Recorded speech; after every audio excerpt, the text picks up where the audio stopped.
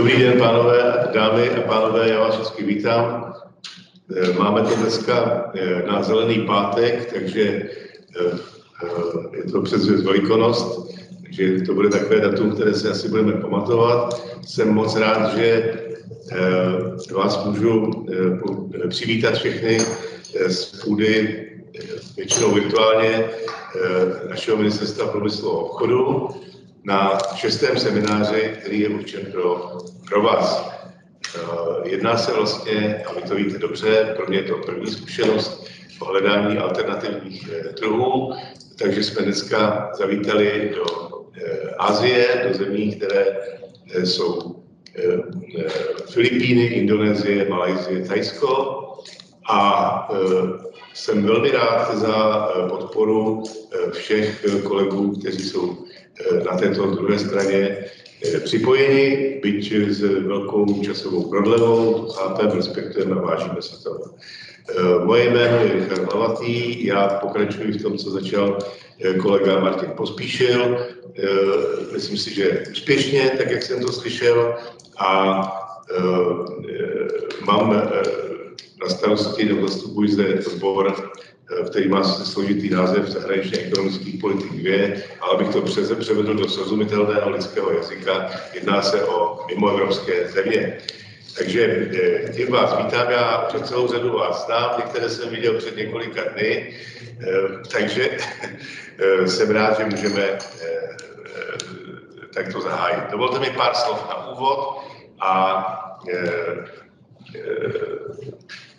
Rád bych eh, samozřejmě přivítal, ať eh, dám průchod té kurtuazi, eh, tady v sále pana Lukáše Martina po mojí pravici, který je ředitelem sekce mezinárodních vztahů Svazu průmyslu a dopravy České republiky, pana Štěpána Kolandu po mé levici, zástupce ředitele odboru pojištění vývozních úvěrů a investice GAPu. A v roušce se po levé straně schovává ta hlavní osoba, to je, eh, eh, to je Michal Horáček, pan Horáček, který má na starosti tuto oblast eh, velmi zkušený člověk. Já bych, jsem strašně rád, že se k nám připojil pan velvyslanec Marek Libřický z Bangkoku, kterého tím zdravím, z Jakarty paní Eh, zástupkyně velvyslance Alena Štojdlová, eh, ředitel zahraniční kanceláře Czech Tradu eh, Michal Sontodinomo a z Kolumburu zdravím Milana Dostála, z Manuely Maroše Martina Gota. Když se dostaneme k té podstatě věci nebo k tomu, proč to vlastně je, tak jedním z těch klíčových regionů pro české předsednictví Eh, které, eh, které nás čekají už za tři měsíce, je právě oblast Indo-Pacifiku. Eh, proto jsme se zaměřili na země, které jsem jmenoval, s tím, že se domníváme, že jsou to klíčové země v této oblasti. Pro náš obchod, mohli to takhle velmi krátce na úvod schrnout, jsou nesmírně perspektivní, Eh, vyvážíme do nich eh, všechno možné, od potravinářských eh, výrobků a základních materiálů pro stroje a zařízení po high-tech elektrotechnický průmysl nebo turbíny pro elektrárny a řadu dalších věcí, o kterých tady dnes bude hovořeno a budeme o nich diskutovat. Přesto je saldo našeho vzájemného obchodu se všemi čtyřmi představenými zeměmi dneska Eh, eh, dlouhodobě výrazně záporné, což eh, je takový vysmajer fakt, který svědčí o zejména dovozu elektronických výrobků a komponentů. Ty nám to tak trošku kazí, když to řeknu. Současně bych chtěl říct, že se domníváme, a svědčí o tom i graf, který jsem včera viděl v HDP v jednotlivých zemích a ve srovnání s námi v době covidu eh, se postupně vyrovnává, dostává se do eh, příznivých čísel, do kladných čísel, takže se domníváme, že toto období by mohlo eh, být překonáno a že se dostaneme do poměrně normální doby obchodování a ekonomických vztahů. Proč jsme si vybrali ty čtyři země, jak už jsem několikrát řekl, jsou to velké, silné a dynamické země, které, které v podstatě zahrnují zhruba půl miliardy obyvatel. Ten růst HDP za 10 let Eh, před eh, příchodem pandemie na eh, Filipínách překonal 6% Malajzia a Indonésii zhruba 5% a v Tajsku 3,5% ta pandemie, pandemie samozřejmě měla dopad na věci, které nejsou přímo naším předmětem diskuze, ale souvisí s ekonomikou, protože se jedná o země, které jsou závislé na, turistu, na turismu, na námořní dopravě a tím je tvrdě postihla.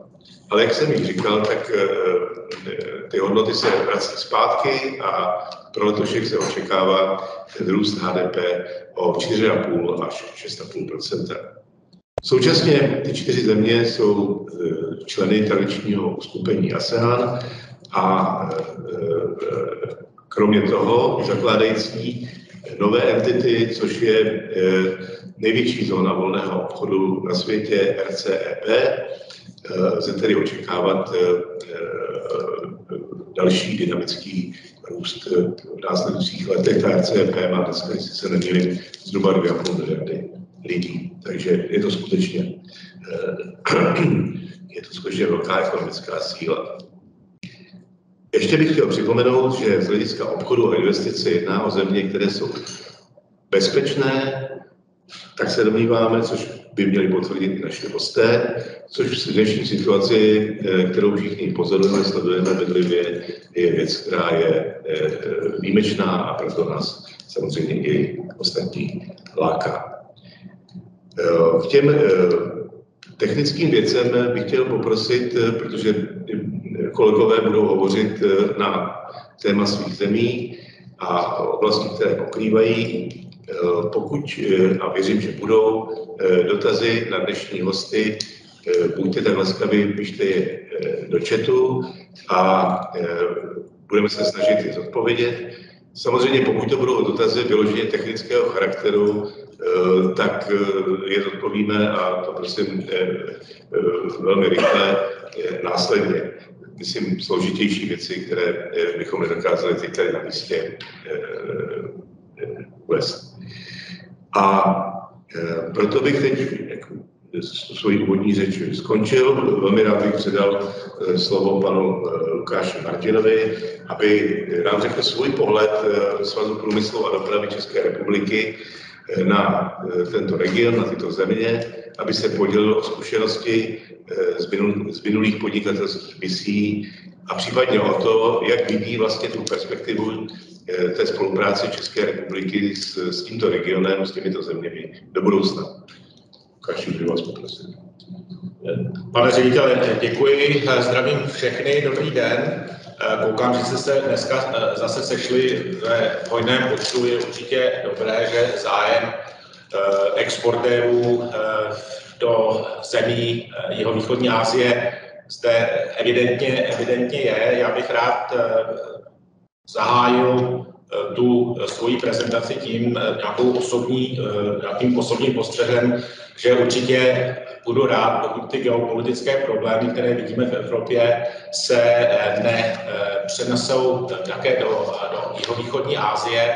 Zde mám určitě na mysli Čínu a Tajvan a že do budoucnosti nebudeme muset dělat nové semináře, nové kolo seminářů o tom, kam by se exportéři měli přesměrovat právě eh, v návaznosti na případné problémy eh, na tomto, na tomto ostrově. Ale to je jenom osobní poznatek. Eh, jsem velmi rád, že jsme tady. Já bych poprosil první slide. Svaz průmyslu a dopravy je největší zaměstnavatelská organizace v České republice. Združujeme asi 11 000 firm a máme široké portfolio služeb v oblasti podpory exportu. Zejména, eh, já si myslím, takovou klíčovou aktivitou eh, pro nás je organizace podnikatelských misí. Já se pak později vrátím k těm misím, které, které, jsme, eh, které jsme organizovali právě do těch čtyř zemí, kterým se dneska věnujeme. Ale není to jenom, nejsou to jenom, jenom mise, jsou to i incomingové, incomingové mise a kontakty se zahraničními partnery Určitě bych rád připomenul v září 2018, kdy jsme organizovali velké česko-malajské podnikatelské fórum, v roce 2019 v březnu eh, v rámci zasedání, prvého zasedání Česko-Filipínského smíšeného výboru jsme organizovali následné B2B eh, eh, a potom několik česko-indonéských podnikatelských akcí, protože zejména Indonésie z našeho pohledu z těch čtyř zemí je velmi aktivní tak ta poslední akce proběhla v rámci Mezinárodního strojírenského veletrhu relativně nedávno v listopadu minulého roku a věřím, že řada z vás eh, se té akce zúčastnila. Ale potom jsou to také samozřejmě prezentace, které na eh, zahraničních veletrzích eh, ovlivňujeme nebo snažíme se působit na, na ministerstvu průmyslu a obchodu s, s tím, které veletrhy by měla, mělo zařadit do, té, do toho programu české oficiální účasti Organizujeme různé semináře, konference, každoroční konzultace s ekonomickými diplomaty a řediteli zahraničních zastoupení Czech Trade. Zde bych chtěl zdůraznit, že v letošním roce proběhnou eh, v druhém týdnu v červnu a konečně se opět setkáme, eh, doufám, v tváří v tvář se všemi eh, těmi ekonomickými diplomaty a řediteli Czech Trade. Takže to je určitě dobrá zpráva. A když jsem zmínil ten mezinárodní strojírenský veletrh, tradičně organizujeme eh, pro exportně orientovaný eh, program právě v rámci veletrhu a myslím si, že výjimku eh, nebude i ten letoš, výjimkou nebude ten letošní veletrh, protože ten zájem, předběžný zájem je opravdu, opravdu velký. Další slide. Eh, Svaz průmyslu a dopravy zejména eh, lobuje za to, aby, se, eh, aby stát podporoval diversifikaci českých firm mimo Evropskou unii. Já vždycky říkám, Desetivteřinový mikrofon, Zojku. Tak, který jste mi nám mikrofon, prosím. Který jste mě teďka neslyšeli a možná to je dobře, ale v každém případě se chceme soustředit na ty mimoevropské trhy, protože tam si myslíme, že jsou možnosti dynamického růstu. Já jsem vám tady vyjmenoval několik zemí, kde v porovnání s roku 2021 došlo k značnému růstu. Egypt, Kanada, Izrael, Austrálie, Brazílie, Jižní Afrika, ale se, samozřejmě těch zemí je, je mnoho. A z tohoto pohledu je právě důležitá oblast ASEANu, Eh, která patří k eh, významným obchodním partnerům a k tradičním partnerům eh, České republiky. Ten dovoz je pětkrát vyšší než vývoz, ale samozřejmě proto jsme tady, chceme určitě něco s tím udělat. A vedle těch čtyř zemí, o kterých se dneska bavíme, také bych rád zmínil, zmínil Větnam a Singapur, které jsou z pohledu exportérů velice důležité. A teď tedy k těm eh, konkrétním zemím. Další slide, prosím. Ne, ještě jsem, eh, ještě bych eh, hovořil o těch podnikatelských misích. Pořádku, můžete se tam vrátit na ten další slide. My jsme tedy organizovali několik podnikatelských misí. V roce 2015, dejte mi tam ty mise, prosím vás. V roce 2015 to byla podnikatelská mise do Malajzie a Větnamu. Eh, to bylo s bývalým ministrem zahraničních, zahraničních věcí eh, Zaorálkem. V roce 2017 podnikatelská mise do Tajska s náměstkem ministrem, ministra průmyslu a obchodu Vladimírem Ertlem bývalým. Eh, v roce 2019 to byla taková velká podnikatelská mise s premiérem Andrejem Babišem do Tajska, Singapuru a Indie. Eh, a potom následovaly dvě mise s ministrem životního prostředí Richardem Brabcem, eh, první do Malajzie a Větnamu a ta poslední, a také to byla naše první eh, post-koronavirová mise, byla do, do Indonésie a ta proběhla v červnu minulého roku. Viděl jsem tam eh, dotaz, eh, zda, jaké se chystají eh, podnikatelské mise. Bohužel do jihovýchodní Asie vám zatím konkrétní informace o misích dát nemohu, ale určitě z dlouhodobého hlediska lobujeme za to, aby jsme se vydali do Filipín a rádi bychom je určitě spojili s další zemi v regionu, zejména zde myslím na, na Tajsko. A myslím si, že zejména u těch Filipín tam je dlouhodobý dluh. Poslední podnikatelská delegace, kterou my jsme měli tu čest organizovat, tam proběhla v roce 2000, ani to ne, 1997. V jihovýchodní Asii máme několik partnerských organizací, ty, ty klíčové jsou samozřejmě v Indonésii, Kadim Indonesia a v Tajsku, The Federation of Thai Industries, ale i v Malajzii, EU, Malaysian Chamber of Commerce and Industry je vlivná organizace. Na Filipínách bohužel žádnou partnerskou organizaci nemáme, protože jsme tam nebyli téměř přes 20 let, ale určitě rádi navážeme kontakty, kontakty, až tomu bude příležitost. Další slide. Tak. Já jsem si ty, ty země seřadil podle, podle abecedy, takže rozhodně to není podle důležitosti. Z našeho pohledu o Filipínách víme, máme nejméně, no, s Filipínami máme nejméně zkušeností. Je to samozřejmě jeden z deseti členských, jedna z deseti členských zemí Združení ASEAN, pátou největší ekonomikou regionu, a eh, od roku 2015 se s touto zemí vedou, dohod, eh, vedou eh, jednání o dohodě o volném obchodu, což by samozřejmě pomohlo k růstu exportu. Ale i tak Filipíny prudce rostou, předpokládá se ekonomický růst na příštích 10 let okolo 5% a k tomu samozřejmě přispívá i, přispívají i vyšší převody Filipínců ze zahraničí, ze zahraničí kde jich kde ve velké množství pracují a přispívají tak dlouhodobému přebytku eh, na běžném účtu. Bankovní sektor je, je stabilní a podle analýzy HSBC se do roku 2015 eh, Filipíny stanou největší ekonomikou eh, světa. Ten český vývoz stojí někde mezi Indonésií a Větnamem, což jsou země s podstatně robustnější českou přítomností a eh, dovoz Filipín tradičně převyšuje náš vývoz eh, v poměru 3 k 1. Já jsem tam v tom sladu vám nastínil takové ty nej, nejperspektivnější oblasti, které jsme čerpali z mapy oborových příležitostí Ministerstva zahraničních věcí a Ministerstva průmyslu a obchodu, ale samozřejmě těch oblastí je mnohem víc. V, na Filipínách tradičně působí Home Credit, ve stavbě vodních elektráren se tam eh, angažuje ČKD Flansko Holding a eh, v poslední době eh, dochází k exportům munice a samozřejmě zbrojní techniky.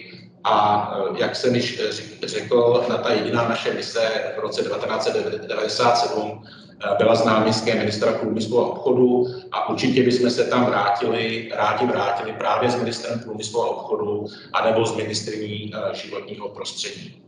Tak poprosím další, eh, ne vlastně můžete to nechat. Indonésie, vraťte se zpátky, už se.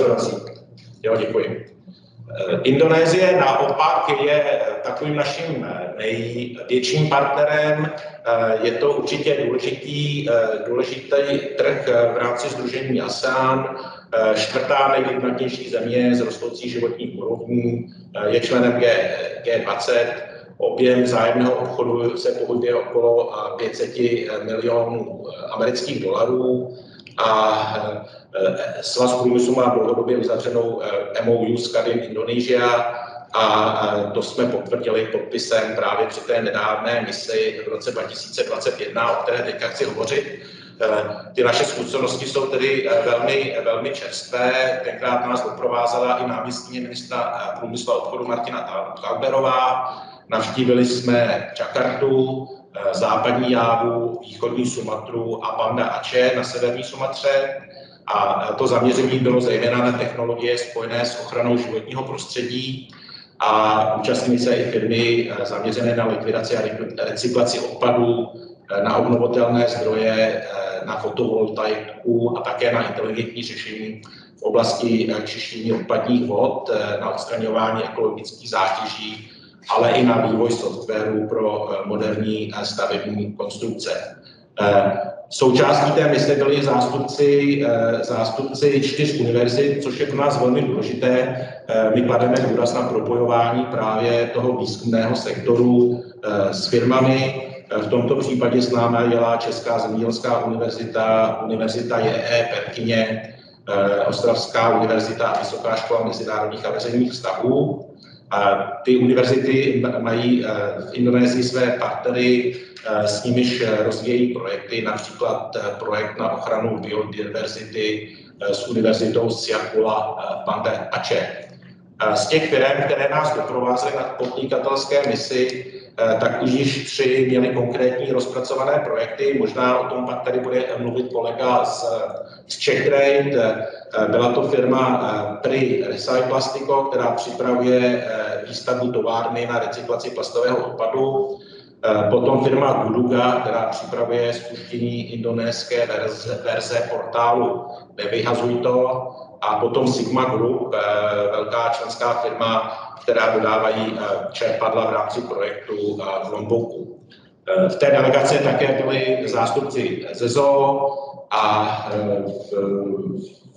zejména ZO Liberec působí na Sumatře již 10 let v oblasti v mnoha aktivitách chránící místní bohatou biodiverzitu s akcentem na ochranu ohrožených druhů zvířat. A my jsme samozřejmě v úzkém kontaktu s velvyslanectvím Indonésie a jsme, jsme připraveni v, pokračovat v úspěšných rozpracovaných aktivitách a e, myslím si, dovedu si tvrdit, že ty naše kontakty jsou velmi e, na vyspělé úrovni, takže jsme schopni nabídnout firmám určitě e, velkou pomoc, pokud se zejména tato země je e, bude zajímat. Další slide, děkuji. Eh, další země, o kterou, o, kterou, o které chci hovořit, ještě mám asi pět minut, tak eh, snad se do toho vejdu, je Malajzie. Eh, tam jsme vedli podnikatelskou misi v roce 2019 s Richardem, s Richardem Bravcem. Opět byla zaměřená na environmentální technologie, ale opět nás také do, doprovázeli pracovníci univerzit a akademické obce, a zejména univerzity tam během té mise podepsali eh, několik, eh, několik eh, memorand právě v oblasti environmentality. A program byl zaměřen opět na oběhové a odpadové hospodářství, na energetiku, solární energetiku, zpracování biomasy, větrné a malé vodní elektrárny na snižování spotřeby energie a eliminace zátěží životního prostředí. A Malézie je země s velkým bohatství, přírodním bohatstvím a eh, místní vláda je velmi vstřícná k řešení těch ekologických eh, problémů, zejména eh, tam, kde, kde dochází ke škodám v důsledku produkce palmového oleje a kde vlastně dochází k ničení těch vzácných ekosystémů, místních rašelišť, rašelinišť a tak dále. Dochází tam k nelegální těžbě kovů a ke, k nelegální těžbě tropického dřeva. Takže eh, ty následovné sanace eh, půdy eh, určitě nabízejí příležitosti pro, pro české firmy. Stěžení je také, že 75% podíl na výrobě elektřiny mají stále uhlí, ropa a zemní plyn, a to z důvodu nízkých cen, takže, takže Vláda má ambiciozní cíl, aby do roku 2025 eh, aspoň 20 energie pocházelo z obnovitelných eh, zdrojů. A také podporuje projekty Smart Cities, eh, zde zejména hybridní vozy, elektrokola a tak dále.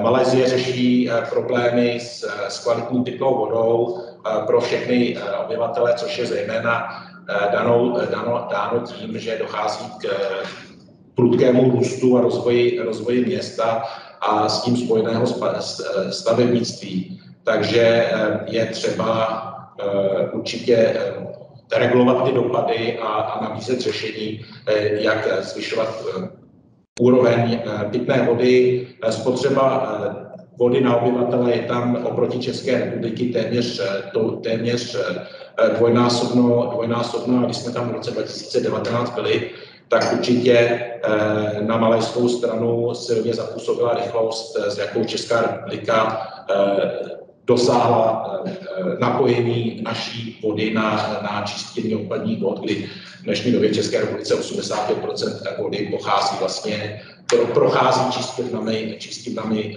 vod a také jsme tam představili české odpadové, odpadové hospodářství protože třeba v Malezii nefunguje vůbec energetické eh, využití odpadů. Poslední země je Tajsko.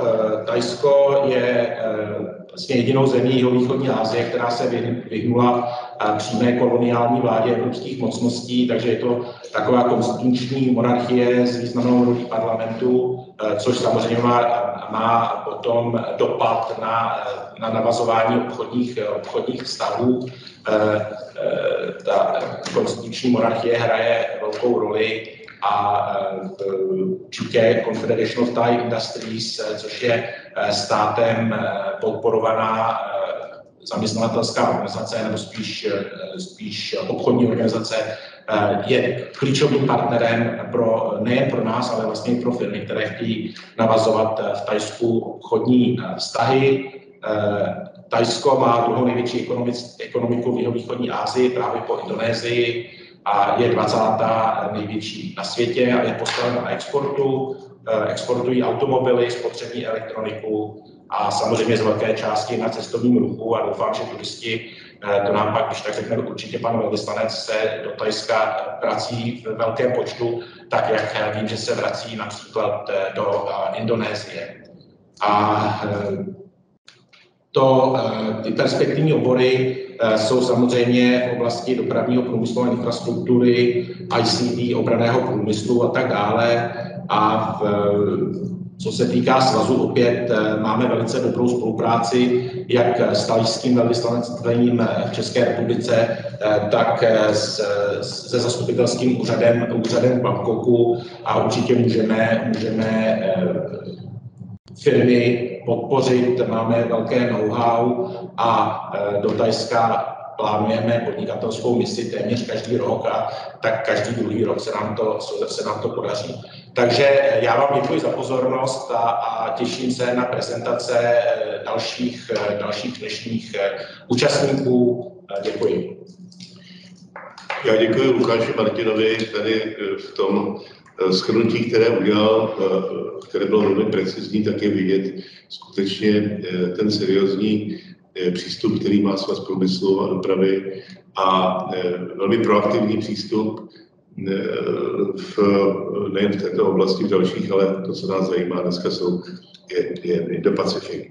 Takže já jsem zaznamenal tam jednu otázku, jestli se nemýlím, ta byla na mise k těm misím. Já vás asi neúplně nadchnu teďka, ale to je to, co všichni tušíme v souvislosti s předsednictvím. Ta situace je nesmírně komplikovaná. A můžu vás ujistit, že řada iniciativ, které jsme měli, ambicí, které máme a tak dále, se snažíme nějakým způsobem prosazovat, ale není to jednoduché, takže se nám většina těch věcí v podstatě dostává až do by se zahraniční až do příštího čtvrtletí roku 2023. Faktem je, že na druhé straně se snažíme o incomingové mise, které pro vás mohou být také zajímavé v různé podobě. Jednu z nich bych chtěl jmenovat a to je Větnam, kde od včerejška v podstatě máme jasně daný termín smíšené ekonomické komise, která se bude konat 29.6. v Praze. Takže má to svůj vývoj a asi, asi tolik. Určitě. Jenom za svaz průmyslu a dopravu k těm, těm podnikatelským misím, já musím říct z vlastní zkušenosti, my samozřejmě lobujeme za podnikatelské misi téměř neustále, že jsem nikdy nezažil tak velký pushback prostě ze strany vlády, co se týká cestování v té druhé polovině roku. Vlastně žádný minister nechce nikam jet, s výjimkou Spojených států. Myslím si, že do Spojených států bychom mohli zorganizovat šest misí v letošním roce, pokud bychom chtěli. Takže to je můj apel na firmy, pokud jednáte s účastníky, s ministry, s náměstky, s řediteli odborů a máte zájem o podnikatelské mise právě do jihovýchodní Asie, pomozte nám a také prosím podporujte to, aby, my, aby ministři vlády jezdili do zahraničí a právě mimo Evropu, protože je to velmi důležité. Tak a děkuju a nyní já bych už se přesunul k vám do jihovýchodní Asie, konkrétně do Thajska a poprosil bych pana velvyslance Marka Lipřického, Ještě jednou opakuju, jsem velmi rád, že je s námi dneska o slovo. Děkuji. Marku, prosím. Děkuji, dobré, dobré ráno do Prahy. Prosím, potvrďte mi, že mě slyšíte, protože mám trošku problémy technický. Slyšíte? Slyšíme tě, Marku, slyšíme. Výborně. Ehm, děkuji, já děkuji za možnost tady, děkuji já, že můžu tady s vámi dneska být a vystoupit, protože víte, že posílení naší přítomnosti v regionu je věc, která mi upřímně, upřímně leží, leží na srdci. Já bych to dneska pojal uh, uh, možná trošku jinak než, než obvykle. Vynechal bych, vynechal bych nějaké tradiční prezentace, notabene z toho důvodu, že uh, konec konců to, co říkali jste vy, páni ředitelé, tak by se s tím z velké části překrývalo. A pokusím se vyhnout těm, těm obecným, obecným tezím o makroekonomických údajích, o, o branách do regionu a podobně a podívat se na to trošku z pohledu toho tématu uh, uh, hledání alternativních, alternativních uh, trhů. Zároveň, a teď se to podívám, se dovolím podívat trošku, trošku uh, šířeji, zneužiju postavení toho prvního mluvčího z regionu. Eh, bych byl rád, aby to nebylo chápáno jako eh, soutěž nebo vzájemný kanibalismus mezi námi tady, tady v té, té oblasti. Eh, soutěž o to, kdo je lepší nebo kdo je horší, kam, by, kam byste měli jít při vašich omezených zdrojích, které samozřejmě jsou. To, kam půjdete, to se rozhodnete sami na základě různých faktorů, různých kritérií. A já si eh, umím představit, trochu si říct na základě minulé zkušenosti, že všichni, co tady v regionu jsme, tak uděláme všechno pro to, eh, abyste vy firmy eh, uspěli. Co se týče toho, eh, toho tématu, to znamená hledání alternativních eh, trhů za, za Rusko, po případě Ukrajinu, tak to samo mě indikuje to, že eh, firmy, které se ve své většině, říkám ve své většině, protože jsem zahlídnul už eh, i známé, známé, známá jména, eh, že se jedná většinou o firmy, které region nenapadl na prvním místě. Eh, šlo o firmy, pravděpodobně soudím, že nevidím ten seznam, které se primárně nebo většinově zaměřovaly eh, na Rusko a respektive východní Evropu a teprve aktuální eh, okolnosti vás donutily se podívat i, i někam jinam někam jinam, kam jste se do teď nedívali, protože jste byli spokojeni tam, kde jste, protože, jak jsem říkal, můžete mít omezené kapacity a nemůžete honit příliš zajíců, zajíců najednou. Uh, což jsou naprosto legitimní důvody a teď, teď, sem, teď sem přicházíte. Eh, Tajsko jako takové, uh, už to zaznělo, všechny ty trhy jsou perspektivní.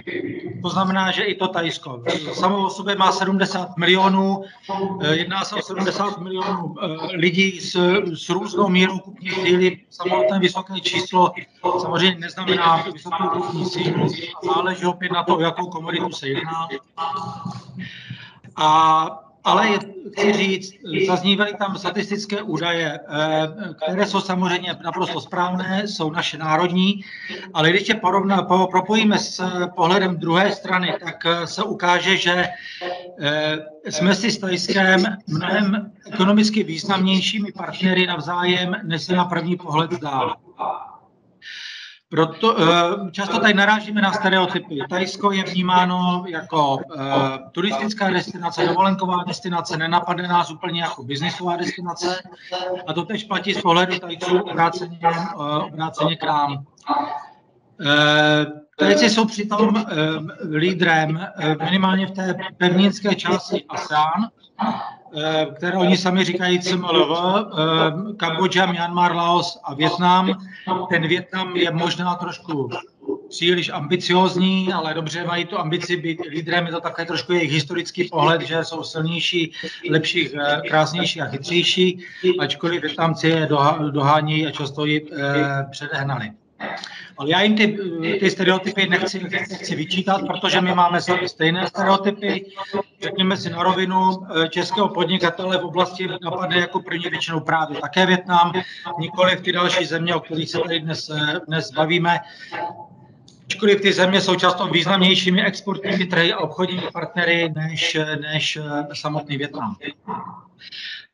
Tomu významu, jenom eh, číslo, které to chci dokumentovat. Podle nás eh, vymývíme zhruba 80, 190 milionů dolarů, které vyvážíme eh, do, do Větnamu, a pardon, do Větnamu, do Tajska, ale ve skutečnosti Tajci dovážejí přes 320 milionů dolarů zboží vyrobeného v České republice.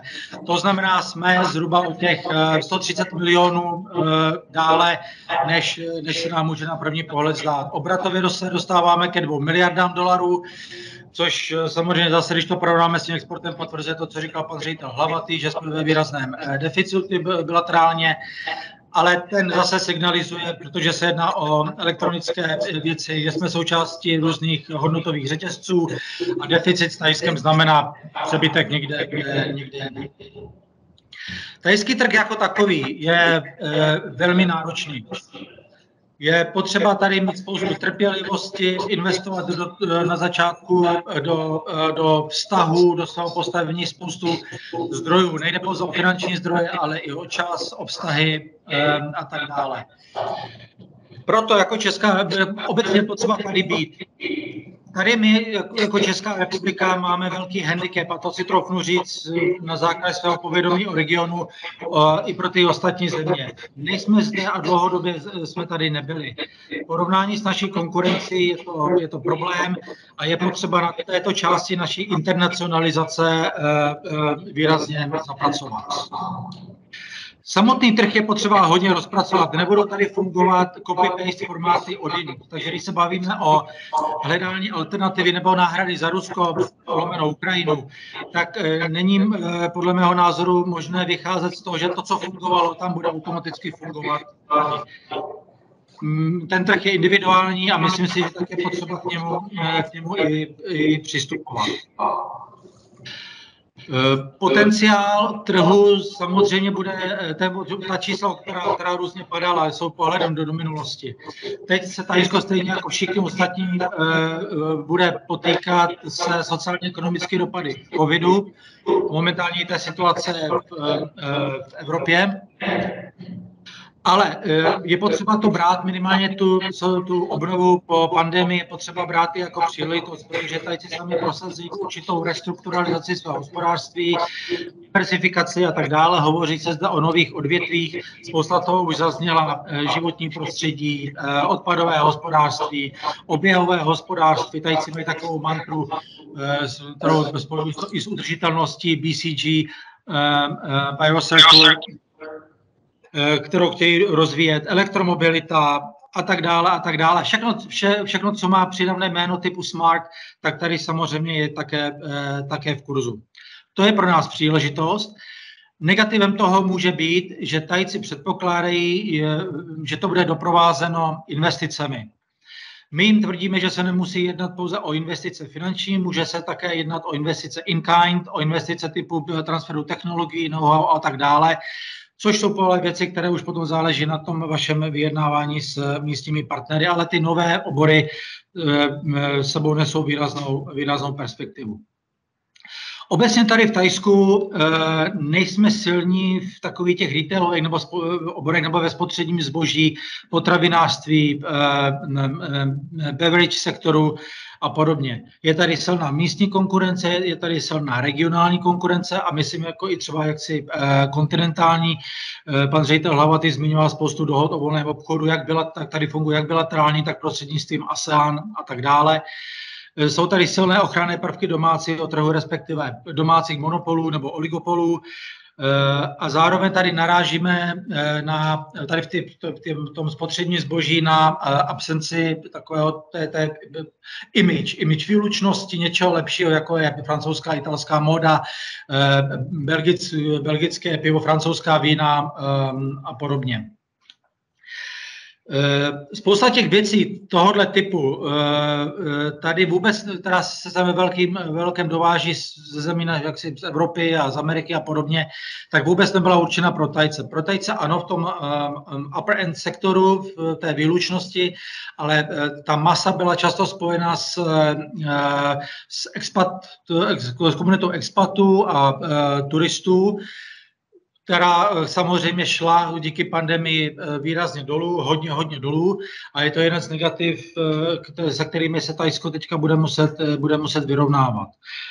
Dochází sice k určité obnově, ta čísla toho příjezdového cestovního ruchu nejsou nějak, nějak výrazná, Eh, momentálně eh, naráží samozřejmě z toho důvodu, že Čína ještě se neuvolnila, eh, odpadlo, odpadlo Rusko, na které, na které Tajci hodně spoléhali a které i teoreticky mohlo být tím cílovým segmentem pro nás v tomhle, protože Rusové, Ukrajinci, eh, to jsou přesně ty segmenty, které o nás tuší a mohli jsme se tam uplatnit a v těch eh, eh, jaksi výspách, kde se pohybují, to znamená Bangkok, Phuket, Chiang Mai, Krabi, tak tam se tyhle ty věci mohly uplatit. Teď momentálně bohužel tady ten segment není.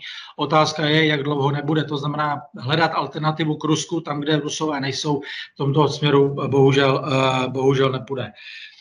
A eh, pro Tajce jako takový, bohužel nejsme v tomhle dost atraktivní, je to, je to o imidži, eh, ale to je práce na, na několik let, která, která ještě bude chvíli, chvíli trvat.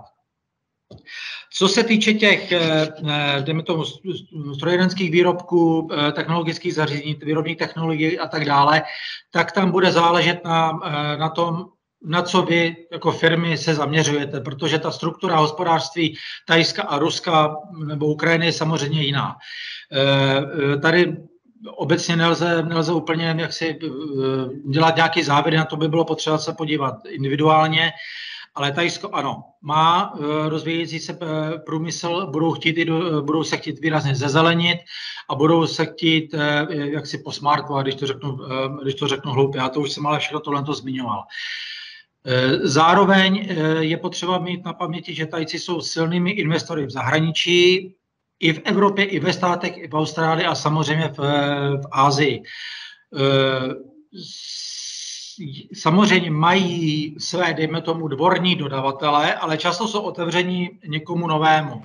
Eh, často otevřenější než třeba eh, západní, západní eh, konkurenti, nebo jejich konkurenti, kteří mají své dvorní dodavatele a těch se drží celosvětově, ať se děje, co se děje. To se může týkat jak chemického průmyslu, strojírenství, chci jenom říct, že třeba tajci, ta firma tajská vlastně čtyři chemičky u nás, takže uh, opravdu jsou v tomto silní. Uh, ale může se to týkat i, i uh, potravinářství a tak dále. Takže tam by bylo možné hledat, hledat pardon, energetiky, včetně, včetně, včetně třeba vodního hospodářství, protože tajci jsou silnými investory v Laosu, ve Větnamu, v Austrálii i na Filipínách a podobně. Zmiňoval jsem přímé investice, tajci jsou jim, nebo investice naše tajci jsou jim um, otevření, ale to by bylo povídání samo o sebe, o, samo pro, pro sebe. Je s tím spojená ta také zmíněná internacionalizace, kterou bych chtěl eh, podpořit jako takovou. Eh, a nejenom v k ale ke všem ostatním zemím, protože jakmile někdo bude v, bude v Singapuru, bude v, bude v Malajzi, bude v Indonésii, tak ten přístup i na, ten, na tajský trh je mnohem jednodušší a pandemie nám ukázala, že tam jsme narazili. Tam jsme narazili v okamžiku, kdy se, kdy se uzavřely hranice, nebylo možné, možné cestovat, tak naše konkurence, která tady má prostě komunity čítající 40, 50, 60 tisíc tisíc osob, často eh, v ekonomicky aktivním věku, nebo čerstvé eh, důchodce, tak měli s kým pracovat a kdo měl pro ně pracovat. My jsme bohužel narazili. A tenci eh, partnerů, i jak se na tajské straně, kteří, by nám pomáhali, tak to byl velký deficit. Takže prosím, internacionalizujte se minimálně regionálně, optimálně s nějakými antenkami tykadly, tykadly do všech zemí. Co se týče toho, jak identifikovat eh, příležitosti tady pro vás, tak samozřejmě je tady celá ta škála eh, služeb, eh, Ministerstvo průmyslu a obchodu, Svaz průmyslu a dopravy, Musím zmínit i, i hospodářskou komoru, která také tady pořádala zrcadlově podobné, podobné mise, jako byly s ministrem životního prostředí do regionu, tak oni také jsem, jsem přiletěl, udělali Tajsko a Laos, takže tam je to možné. A e, podívejme se na to individuálně. E, tady v Bangkoku nabízíme tedy služby, služby ambasády jako takové. respektive toho českého týmu, do kterého naprosto neoddělitelně patří i zahraniční kancelář Czech Tradu v čele s Petrem Slovikem. Máme tady, myslím, fungující dělbu práce, kdo dělá G2G, kdo dělá B2G, kdo dělá ryze B2B. Celé je to doplněno také o možnosti v rámci projektu Propea, který eh, není konkurenci Czech Tradu, ale je to věc, která je kompatibilní a eh, je možné to využít. Propeu tady v Tajsku vede honorární konzul eh, na Phuketu. Čech, velmi dynamický člověk s, s biznisovým backgroundem a velmi aktivní, který mimo jiné připravuje i onlineovou internetovou platformu pro naše export, exportéry Czech Business Center, která bude v blízké době zprovozněna a bude umožňovat výhledově i expanzi do, do, těch, do některých trhů v okolí.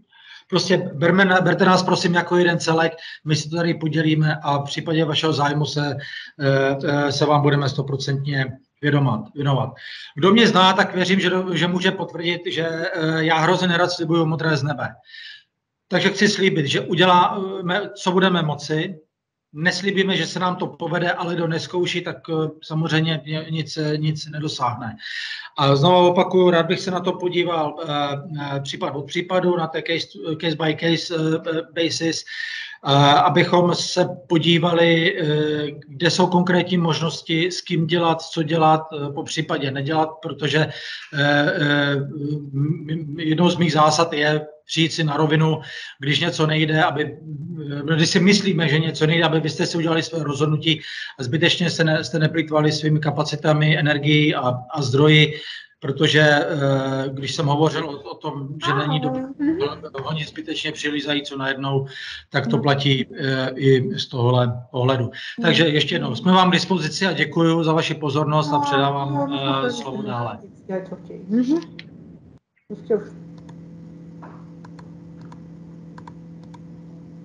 Ne, já jsem takovou, já bych to prostě poslala, že na základě, přepošle to na Macka, že na základě přání peněžita, teď to teda zařazuje.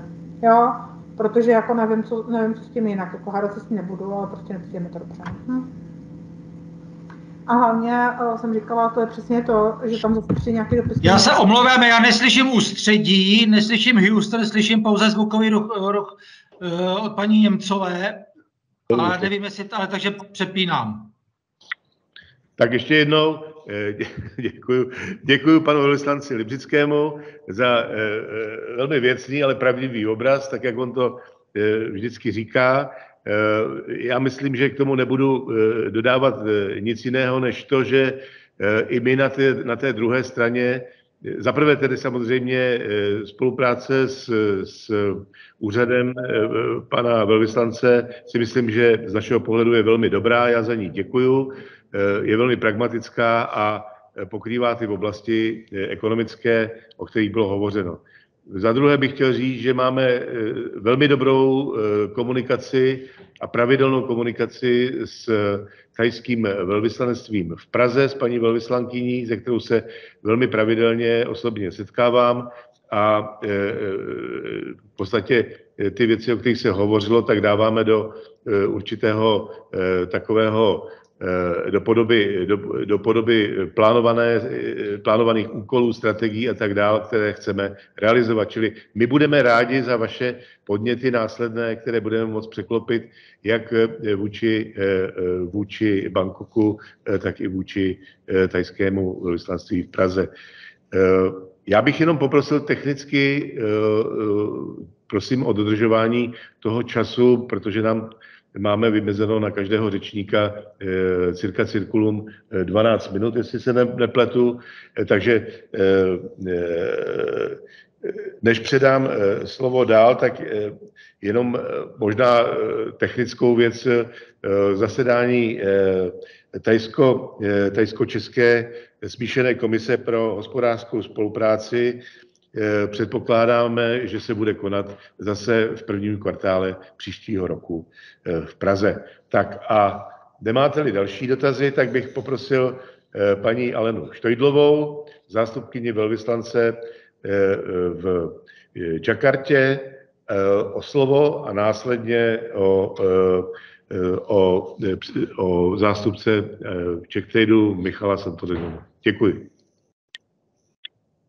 Tak dobré dopoledne do Prahy. Já doufám, že mě všichni slyší. A já si zkusím natáhnout prezentaci sama. Doufám, že to půjde i při našem připojení.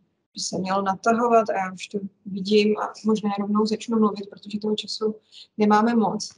A já jsem nedávno trošku uh, se zabývala archivy a dostala jsem se k jednomu zajímavému článku ještě z roku 2011, uh, který se celkem výstižně jmenoval S Bohem Číno, dobrý den Indonésie. Uh, tak uh, myslím, že tento výstižný název zároveň zdůvodňuje, proč jsme tady dneska za Indonésii dva s panem kolegou Sontorinovem. Já si vezmu na starost trošku tu makroekonomickou část a on pak přijde k těm konkrétním příležitostem. Uh, jenom mi kývněte, že vidíte prezentaci, uh, že se natáhla správně. Um, z Bohenčino Dobrý den Indonésie, nebo se taky někdy říká ta příští velká věc, the next big thing. Um, um, to je přesně to, co uh, skvěle vystihuje tu Indonésii jako, jako nově nastupující regionální velmoc Indo-Pacifiku, která se snaží Číně konkurovat a která nejen to svou velikostí, ale i určitou pestrostí se vymyká vlastně celému tomu, tomu regionu. Když se podíváme na tu mapu, tak je to největší, a jsou ostrovní stát světa, tvoří ho 18 tisíc ostrovů. Je to napříč v podstatě dílka celé Evropy. Jsou tady mnoha milionová města, ta nejvýznamnější pro vás budou na Jávě, to Surabaya, Bandung, Semarang, to jsou všechno města, která mají přes milion obyvatel. Proběhla tady ostatně ta nejrychlejší urbanizace světa, z čehož eh, plynou ostatně mnoho, eh, mnoho neduhů, které jsou ale zároveň příležitostmi. Uh, takže uh, tady bude poptávka po uh, řešení pro dopravní telematiku, různá smart energetická řešení, zpráva výškových budov například. Další ta významná města pak na Sumatře, Medan, dále třeba Makassar na, na Sulawesi, Batam a Jakarta sama o sobě, tak to je skutečně klenot, ten se přezdívá Velký Durian a ta i s tou aglomerací má nějakých 35 milionů obyvatel. Um, takže ta velká síla je samozřejmě v té velikosti pestrosti, uh, v tom trhu, který je zajímavý nejenom na té Jávě, která je centrálním ostrovem a zároveň nějakým finančně ekonomickým hubem, ale zajímavé jsou i ty trhy směrem na východ, ale je potřeba si uvědomit, že po tom 16-hodinovém letu z Evropy, uh, když budete chtít pokračovat někam dál, tak třeba jenom pro příklad uh, ten let z Jávy na Papu bude trvat dalších pět hodin. Zrovna dneska jsem měla zkusku, um, která se týkala těžarské mise. Bavili jsme se o možnosti navštívit důl na Kalimantanu a, a vyšlo nám z toho, že by nás to vlastně stálo další tři dny mise navíc, a, protože let na Kalimantan trvá dvě a půl hodiny. A, ta infrastruktura tady není úplně nejlepší, takže pak i to pokračování po tom regionu a, může být jaksi mnoha hodinová cesta. Um, skutečně to uh, nejpodstatnější říct, že je to tedy rozvojová země 16, 16. největší ekonomika světa, která jakkoliv má celou řadu neduhů, tak ale útočí na to být, být uh, tou ekonomikou příštího desetiletí. A skutečně na to i, na to i má, nejenom tím počtem obyvatel, nějakých 270 milionů lidí, kde narůstá střední třída. V roce 2030 počítáme, že tady bude asi 90 milionů lidí, kteří, kteří si budou moct dovolit to, co se standardně dovolí střední, střední sociální skupina. Zároveň tady je jako asi kolem 10 milionů skutečně bohatých lidí. A ty příležitosti jsou ale vlastně i v té, i v té rozvojové spolupráci, kterou my velmi intenzivně podporujeme pomocí uh, našich standardních uh, nástrojů, jako je B2B nebo MLP. Každoročně se jich tady několik uh, realizuje, protože je tady hm, stále ještě problém s chudobou, která bohužel ještě teďka po koronakrizi se zase vrátila do těch čísel přesahujících 10%, což při tom počtu obyvatel je zase prostě nějakých 27 milionů lidí, kteří si nežijou, ne, nežijí úplně nejlépe. Indonésie dlouhodobě je vlastně dobrým příkladem takové makroekonomické stability. Ten růst HDP byl soustavně kolem 5%, s výjimkou teda těch outstanding years koronavirových, do kterých se, kdy se ale teďka už Indonésie vlastně v prognózách bude vracet do těch předcovidových čísel. Inflace je velmi ostře sledovaný indikátor, ale drží se tam, kde bychom ji chtěli mít.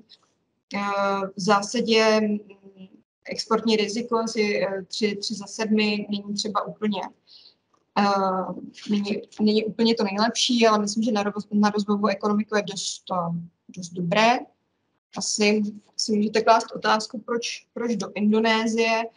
Um, ta nějaká rychlejší SWOT analýza trhu uh, by vypadala asi tak, že um, jsou tady poměrně nízké náklady na tu pracovní sílu, um, minimální mzda by se držela někde kolem 300, uh, 300 dolarů za měsíc, um, inženýr si pak řekne kolem uh, 700 dolarů.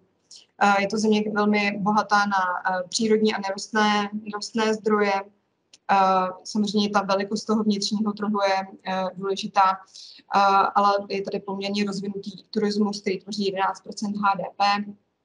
Celá řada taky Čechů tady vlastně investuje právě do toho hospitality, takže je to nějakým způsobem prošlapaná cestička. Dá se na to nějakým způsobem navázat.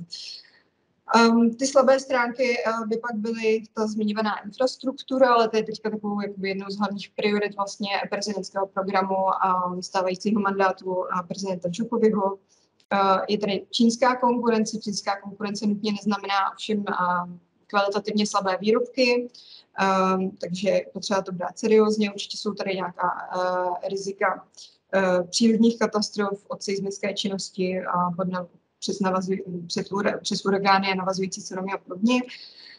Um, fragmentovanost toho trhu. Jako příležitosti vidíme určitě ty státní veřejné zakázky, které objedmově jsou, uh, jsou zajímavé. Uh, Indonésie je také velmi dobře propojená s mluvními základnami uh, s ASEANem.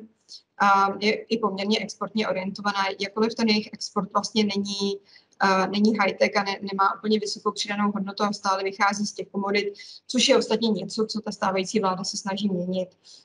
Um, bude to vlastně základní páteří a té vize 2045, kterou, kterou zmíním.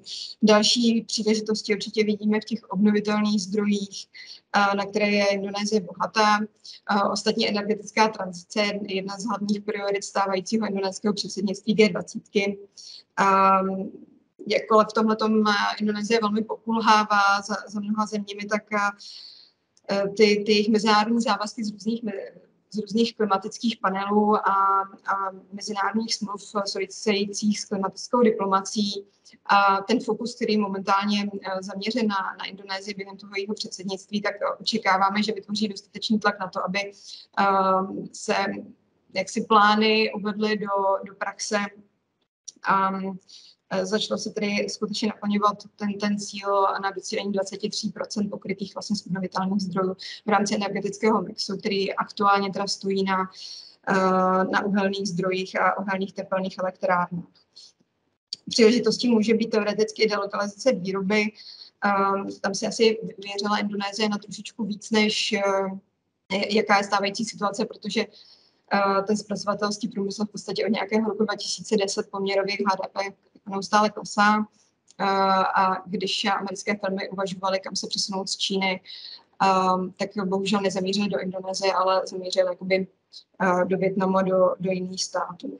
Ty hrozby jsou pak klasické určité nedostatky v boji s nekalou konkurencí, ale tam zase ta vláda Džukoviho a celý ten mechanismus agentury KPK, která má za cíl sledovat korupci, tak hodně se posunula dál a Ehm, tam spíš ehm, v podstatě i indexy doing business a e, jakoby vyhodnocují Indonésii poměrně líp než třeba před několika lety. Je zde také poměrně nízký index technologické připravenosti. Můžeme spekulovat o tom, jaká je místní produktivita versus cena pracovní síly, protože je pravda, že platy v regionálním srovnání jsou tady vyšší. A ne, nemůžu znovu nezmínit infrastrukturu. Já přijdu na nějaké teda politicko-ekonomické trendy. Uh, my vnímáme Indonésii jako dlouhodobě politicky stabilní zemi, sice v poslední době se tady objevil trošku problém uh, nějaké snahy o proti konstituční krok ve smyslu prodlužování toho mandátu stávajícího prezidenta, který by měl skončit v roce 2024. Nicméně nevnímáme to jako nějakou realistickou hrozbu, která by se měla přelít nějaký, nějaké větší demonstrace nebo nebo by měla vytvořit prostě nějaké stabilní prostředí z hlediska biznesu, protože ta vize 2045, která je prostě hlavou a srdcem toho mandátu, tak je velmi pragmatická a cílí právě na ekonomické cíle. Stanovuje si poměrně ambiciozní cíl posunout ten ekonomický růst 5% na, na celých 7%. Což samozřejmě nejde bez, bez investic, bez nějakého efektivního výběru daní. Ehm, to daňové zatížení tady momentálně se od, dneš, letošního roku bude mírně zvyšovat. Ehm, v souvislosti, v souvislosti s, s, s atraktivněním toho prostředí vůči zahraničním investicím, které dlouhodobě tady jsou poměrně nízké tak v roce na přelomu 19 a 20 vznikl gigantický zákon Omnibus Law, který e, mění desítky a desítky stávajících zákonů. Celá ta praxe toho zákona zatím není, není dotažená do konce. Jeho cílem um, bylo vytvořit nová pracovní místa, a, což nelze v prakticky bez, eh, bez přilákání nových zahraničních investic, eh, což eh, obrátilo tu stávající logiku takzvaného negative investment, investment listu na ten positive investment list, kdy vidíte, že tady celá řada sektorů, které se otevřely pro, pro zahraniční investice a skutečně to funguje, protože v přelomu, přelomu let 2021 je tam asi 10% nárůst, vůbec největší vlastně v zahraničních investicích do Indonésie, do té doby vlastně to bylo velmi kolísavé, poměrně dobré roky byly 2009-2012, ale když se podíváme na těch třeba posledních pět, tak, tak jsou tam celkem silné propady. Investičně jsou tady nejvíc zainteresováni Singapuřeni z těch evropských logicky uh, tehdejší kolonialistická, uh, kolonialistická velmoc Holanděni uh, jsou jsou zde. Nemůžu se nevyjádřit ke covidu, který se už pomalu je na ústupu, což souvisí i vlastně s tou možností znovu cest do regionu a to i za účelem podnikání. Jakkoliv to teda není úplně nejjednodušší, tak pomocí agenta lze obstarat výzum za poněkud vyšší poplatek, dokonce i nějakých 300 dolarů. Teďka se k nám chystá firma Linet, takže uh, pokud to chcete na individuální bázi realizovat, tak to, ale bohužel to není úplně nejlevnější. Z druhé strany v rámci našich misí jsme schopni vyjednat celou řadu výjimek a v prosinci jsme tady měli um, ještě za poměrně složitých podmínek úspěšnou misi, um, takže je to spíš jako pobídka pro vás, abyste se spíš účastnili misí a, a my se pak uh, postaráme o to, abyste to měli trošku při té cestě snažší, ale odpadla prostě po příjezdová karanténa. Uh, ty statistiky nejsou nejhorší, na, když vezmu k poměru k počtu obyvatel. Uh, proběhlo zde i poměrně objemný vládní balíček, což přimělo vlastně prolomit některé makroekonomické limity. Uh, zastávající situace, ale nám vyplývá spíš, že tady vznikly jako nové příležitosti na základě covidu, protože covid určitě pomohl uh, významně s digitalizací v regionu. Uh, objevil se, jednak se, jednak se to dostalo do, do povědomí lidí a užívání různých aplikací na sdílení dopravy. Um, zavedení vlastně digitalizovaných obchodů i v té úrovni jakoby SMEs, těch malých středních podniků. Takže uh, digitalizace je nově vlastně jedna, jedna z těch oborových příležitostí, které uvádíme vlastně mapě na, v tom našem, v tom našem mapu. Uh, s čím možná teďka v poslední době měli, měli problém, tak je ten vakcinační program, kde jim bohužel prošlo 20 milionů dávek, ale my se momentálně snažíme vlastně tady zprocesovat jednorázovou humanitární pomoc, kdy v Čechách zase na druhou stranu ty dávky přebývají, takže mm, ideálně by se nám podařilo někdy v druhé polovině dubna sem, sem dostat pár dávek s tím, že by se podařilo naplnit tu stádovou imunitu v polovině roku. Um, se podívám na nějaké ty uh, obchodní dohody členství v volných zónách, tak v té bilaterální rovině tam je to jasné, to jsou ty standardní zamezení nového zdanění, podpora investic, ochrana investic, hospodářská spolupráce, ta poslední, to už bylo zmíněno ze strany Svazu průmyslu a dopravy, je to letter of intent. V tu oblast životního prostředí hodláme roz, hodně rozpracovat, protože to je tady skutečně dominantní um, agenda, uh, takže tam bude ještě nějaké MOU do budoucna. Aktuálně jednáme ale i o MOU v oblasti těžby energetiky, a tam druhém kole a v oblasti dopravy. Uh, s Evropskou unii je to pak Partnership Cooperation Agreement, dlouhodobě se, dlouhodobě skutečně od roku 2014 se pracuje uh, na té rozsáhlejší dohodě na té Comprehensive Economic Partnership Agreement, která by měla velmi pomoci těm evropským, evropskému vývozu do Indonésie. Nicméně v Indonésii to vnímají tato jednání spíš jako hrozbu. Doufáme trošku, že by se tato jednání mohla posunout v letošním roce právě kvůli tomu předsednictví. Jejich problém je samozřejmě vývoz palmového tuku, který trošku naráží na, na Green Deal a na, na eh, mechanismus obchodování emisních povolenek a vůbec představa, eh, představa o té uhlíkové zátěži. Nejvíc těch smluv je pak potom v regionu, kde ostatně jakoby Indonésie nejvíc uh, z hlediska mezinárodního obchodu zainteresovaná. Uh, takže tam je celá řada uh, free trade agreements uh, ASEANu vůči těm externím partnerům. Tam ty celní, uh, ty tarify jsou do nějakých 5%. Uh, je tady ale i preferenční celní unie s D8, uh, muslimský formát, uh, pak jsou nějaké bilaterálky. RCP v tom trošku uh, Indonésie stále pokulhává. Dneska jsem měla s průmyslu, aby jsme se na to dostali. Uh, oni se prostě bojí toho otevření, protože tady je neustále jakoby oscilace mezi, mezi těmi dvěmi protichudnými směry. To znamená, chceme se držet politické stability, anebo chceme nějaký jakoby nekonečný růst a, a cílit, cílit na tu na tu první, první pětku největších ekonomik světa. No a ta politická stabilita, to samozřejmě vychází z historie, protože v těch posledních třech dekádách Indonésie musela absolvovat opravdu mnohé, musela absorbovat významnou politickou tranzici v podstatě ze silně militarizovaného režimu na vůbec největší muslimskou demokracii světa, uh, řadu etnicko-náboženských konfliktů, tady vidíte, uh, ale i, uh, i právě tu azijskou finanční krizi 90. let, která ji zasáhla velmi silně. Uh, inflace tehdy byla nějakých 58%, došlo v podstatě k rozkladu indonéské rupie. Um, takže z toho jakoby vychází ten konzervativní směr a ten, ten progresivní jakoby jde s nějakými globálními trendy, a tou snahou být, prostě být a zůstat tou, tou regionální, tou regionální velmocí. Tady nějaký seznam největších vývozních firm. Ono to trošku vypovídá samozřejmě o té struktuře toho hospodářského modelu. Oborově vidíte, um, Indonésie má kritický nedostatek nějakých jakoby, holdingů, které by byly zastoupeny v zahraničí. A ona prostě není uh, taky zastoupená v těch globalizovaných dodavatelských řetězcích. Um, všechno jsou to, nebo větší část jsou prostě jakoby komoditně, komoditně zaměřené firmy.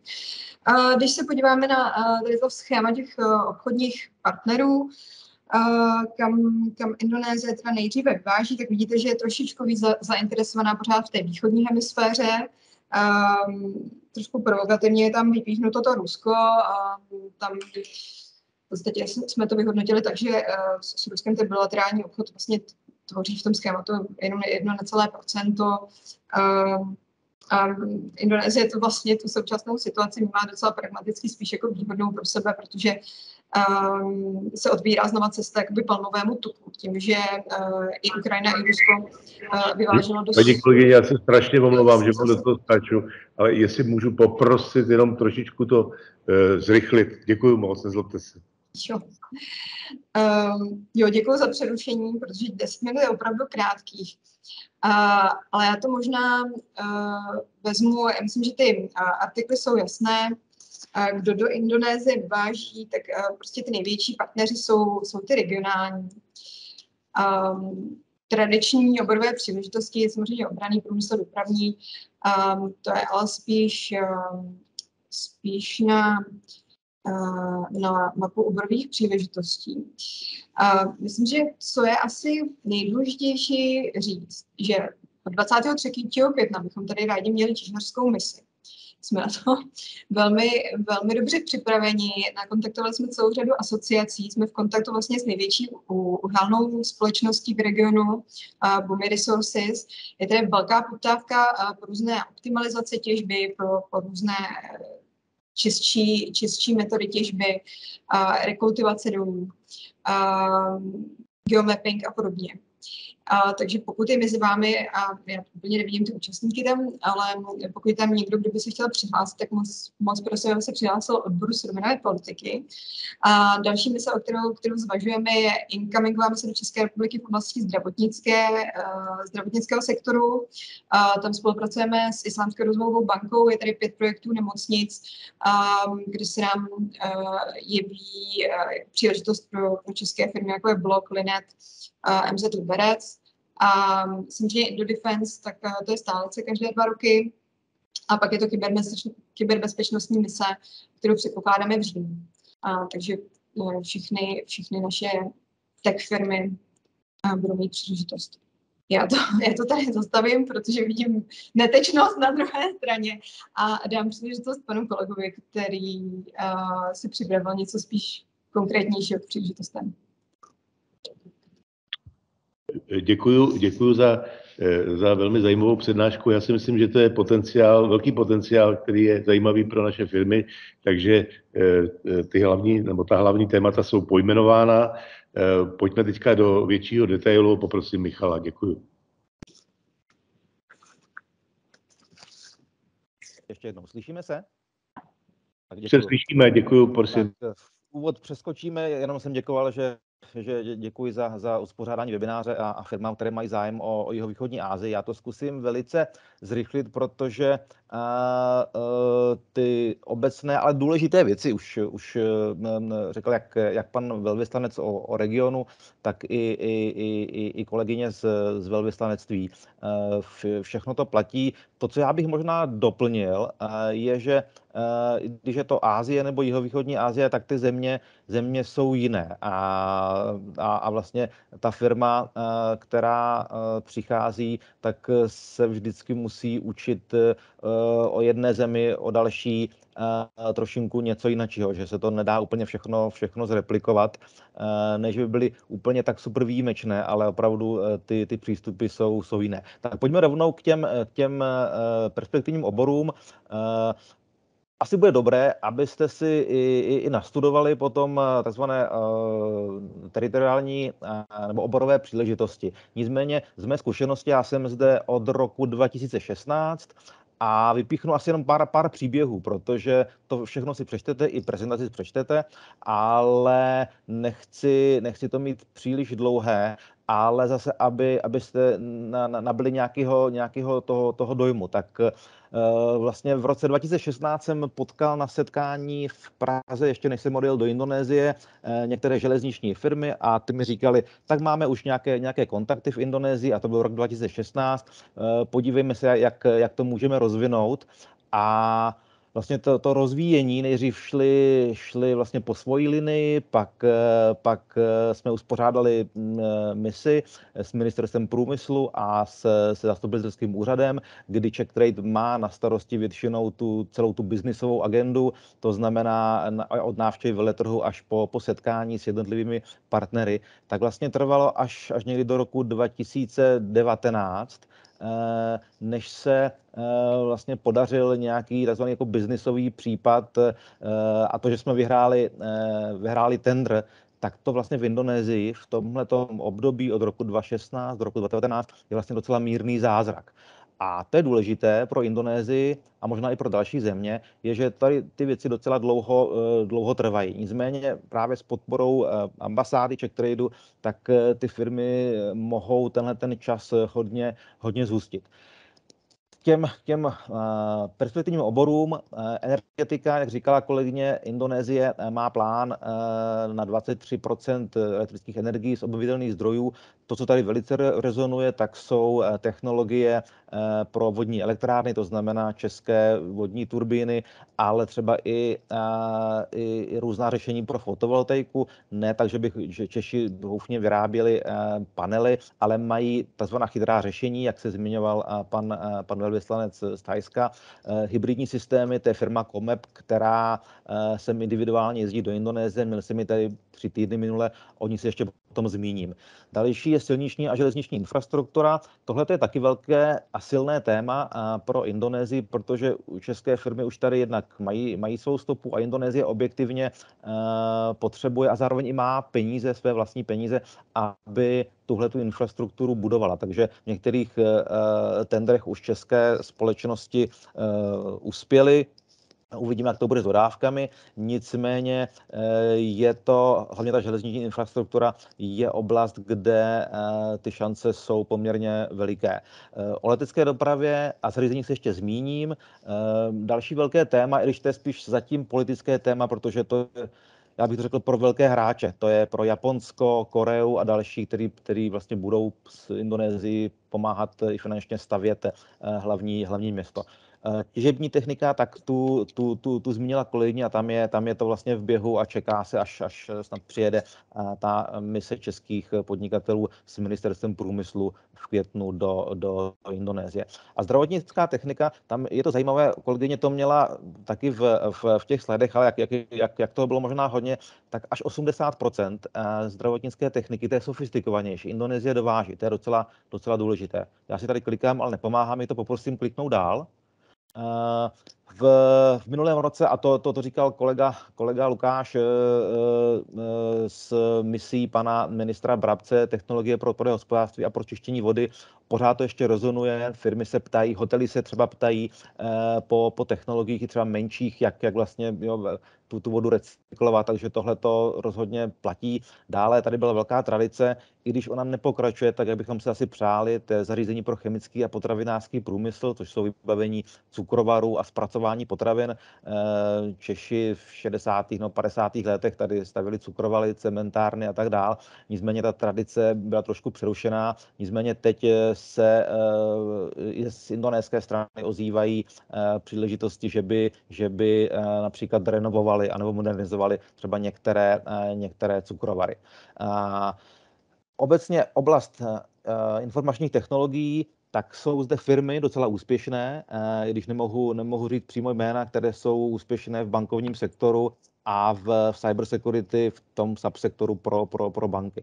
A u potravin potraviny obecně nebyla velká doména spolupráce mezi Indonésií nebo vývoz do, do, do, do, do Indonésie a tam je taky, je to, je to, je to podobný příběh. Před šesti lety jsem se setkal s velkou firmou, firmou MKO znáte, tak ta vyváží do Indonésie uh, mysli a, a vlastně po, po několika letech se nám podařilo Eh, trošinku předělat, eh, předělat jejich, eh, jejich biznis a přijít, přijít na to, že mohou, a snad se to podaří, vyvážet do Indonésie až desetkrát víc, protože se nám podařilo s Tradem najít distributora, který patří do první ligy ale to se nám podařilo až po, po asi dvou, třech letech. A tohle distributora já jsem přivezl na, na incomingovou misi teďka v Dubnu do Prahy, kde se potkali se 17 firmami od eh, Bohemia Sek přes Nestle, to jsou velcí hráči, až po, po další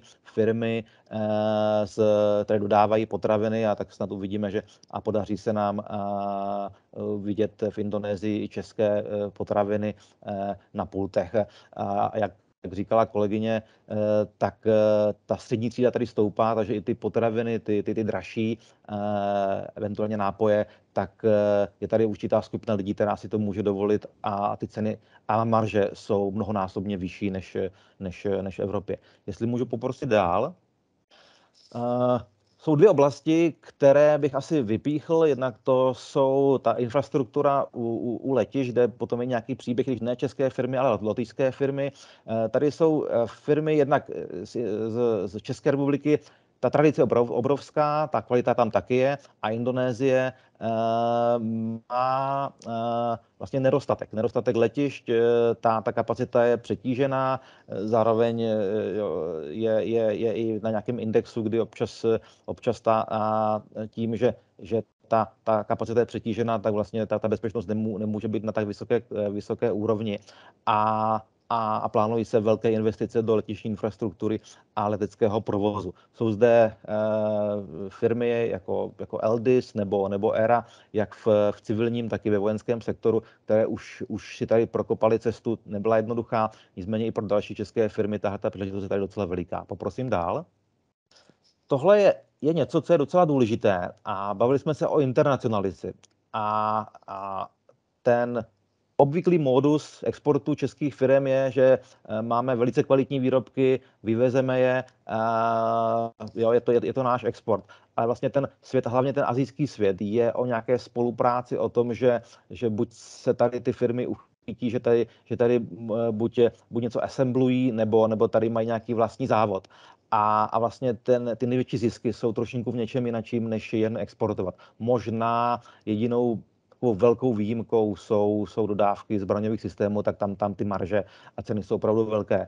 Ale vlastně ten, kdo má nějakou spolupráci obecně v té Ázii, tak, tak má mnohem větší výhodu. Tady tohle příklad firmy, eh, tu prezentaci všichni dostají, je to, je to lotyšská firma, která využila toho a, a bavili jsme se i s českou firmou o tomhle, která nakonec z toho, z toho vycouvala, eh, že je tady velká poptávka po opravě a údržbě letadel, eh, opravují se v Malajzii, v Singapuru samozřejmě, ale v Indonésii lítá nejvíc těch letadel a, a ta, ta, ta firma si koupila tady nepoužívaný hangar, hlavně letiště a, a, a nyní mají poptávky čtyřikrát větší než současnou kapacitu a sami říkají a říkají to všem, že Indonésie je nejslibnější trh pro opravu a údržby eh, letadel v celé jeho východní Asii. Poprosím dál.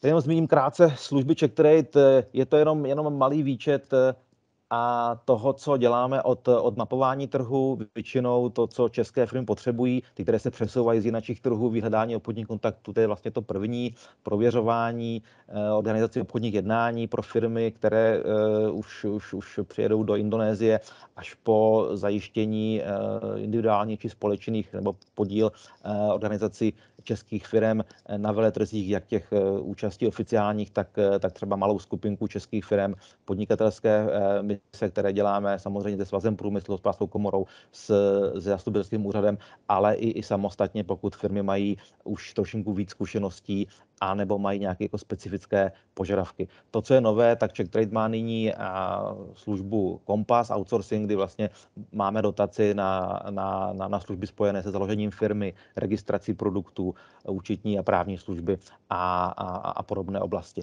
Poprosím ještě dál. To, co bych vypíchl jako, jako, jako pěkný příklad, tak eh, my jsme dělali se s, s ministerstvem průmyslu a svazem a, a, železničních výrobců z Česka, to bylo právě v roce 2018, eh, kdy eh, přijeli na Asociace Česká přijela na, na těžařský veletrh, vybrané firmy si domluvili osobní schůzky se, se soukromými či státními firmami a vlastně tímhle tím my jsme podpořili už eh, vlastně aktivity, které začaly v roce 2016 a, a aktivity, které začaly ještě možná ještě, ještě, ještě, ještě mnohem, mnohem dál.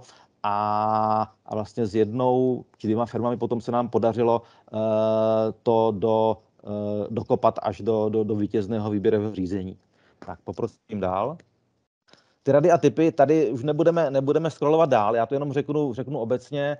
Uh, v Indonésii je to hodně o trpělivosti, o čase, který je potřeba věnovat, budovat osobní, osobní vztahy. Uh, Indonésie je pořád cenovně sen, senzitivní, to znamená, všichni budou říkat, že, uh, že Číňani mají levnější věci a, a, a budou chtít, aby, aby, aby a ta, ta cena byla, byla nižší. Je potřeba velkého respektu k, k, k těm vašim partnerům, uh, protože ta formální stránka je tady důležitá a je i důležité to, že eh, vlastně Indonézani podobně jako spousta dalších indonéských, eh, pardon, azijských národů, si musí zachovat tvář, neumí říkat ne a tím vlastně se hodně věcí prodlužuje. A takže to, co je důležité, a říkají to i, i kolegové, kteří s Indonésií spolupracují v desítky let, a ta trpělivost opravdu je, je strašně důležitá. Takže to, co říkal pan velvyslanec Librický, je, že tahle ta země není pro někoho, kdo jako kdyby jenom, jenom jde kolem. Je potřeba se jí uh, věnovat. A to je asi to, to hlavní moto. Uh, uh, stojí to čas i, i, i nějaké peníze ale když se ten vztah a důvěra vybuduje, tak si myslím, že to má smysl a, a, a ty marže tady jsou potom mnohem vyšší než, než třeba v Evropě. A z, z těch posledních firm, co sem jezdí, hlavně ty, ty, ty zborářské firmy, tak po sedmi letech business developmentu, tak, tak slají opravdu jako velké úspěchy, stejně tak jako firmy z, z surveillance oboru anebo, anebo z energetiky. A teď bych to asi úplně pře, přesunul až poděkování dál, protože eh, bychom, eh, bychom mohli mluvit dlouho, nicméně to důležité, to jsem, to jsem asi řekl. Pošlu ještě účastníkům asi dva, tři své články, kde je to zhuštěnou formou podané a to, co je důležité, děkuji za pozornost a zavolejte mi na WhatsApp, protože v Indonésii eh, s e-maily nepořídíte, musíte fungovat přes WhatsApp. Děkuji za pozornost. Pardon. Děkuji Michalovi za paní kolegyni Štojdlové za pokrytí Indonésie. Já bych, protože jsme ve skluzu, k tomu řekl jenom, že eh, Indonésie je skutečně obrovský zajímavý trh a připomněl jedinou věc, že v roce 2019 eh, to byla jediná země, eh, se kterou jsme udělali smíšenou ekonomickou komisi na brněnském veletrhu. To byla vlastně jediná akce, která se v Brně tehdy, tehdy konala a přes ty všechny překážky, které souvisely tehdy s covidem, eh, se uskutečnila a byla úspěšná. Čili to ukazuje i eh, na ten vztah, který tam na druhé straně máme. Já bych eh, požádal teď Milana Dostála o e, e, skočme do Malajzie, což je sousední, a prosím o dodržení času. Děkuji moc.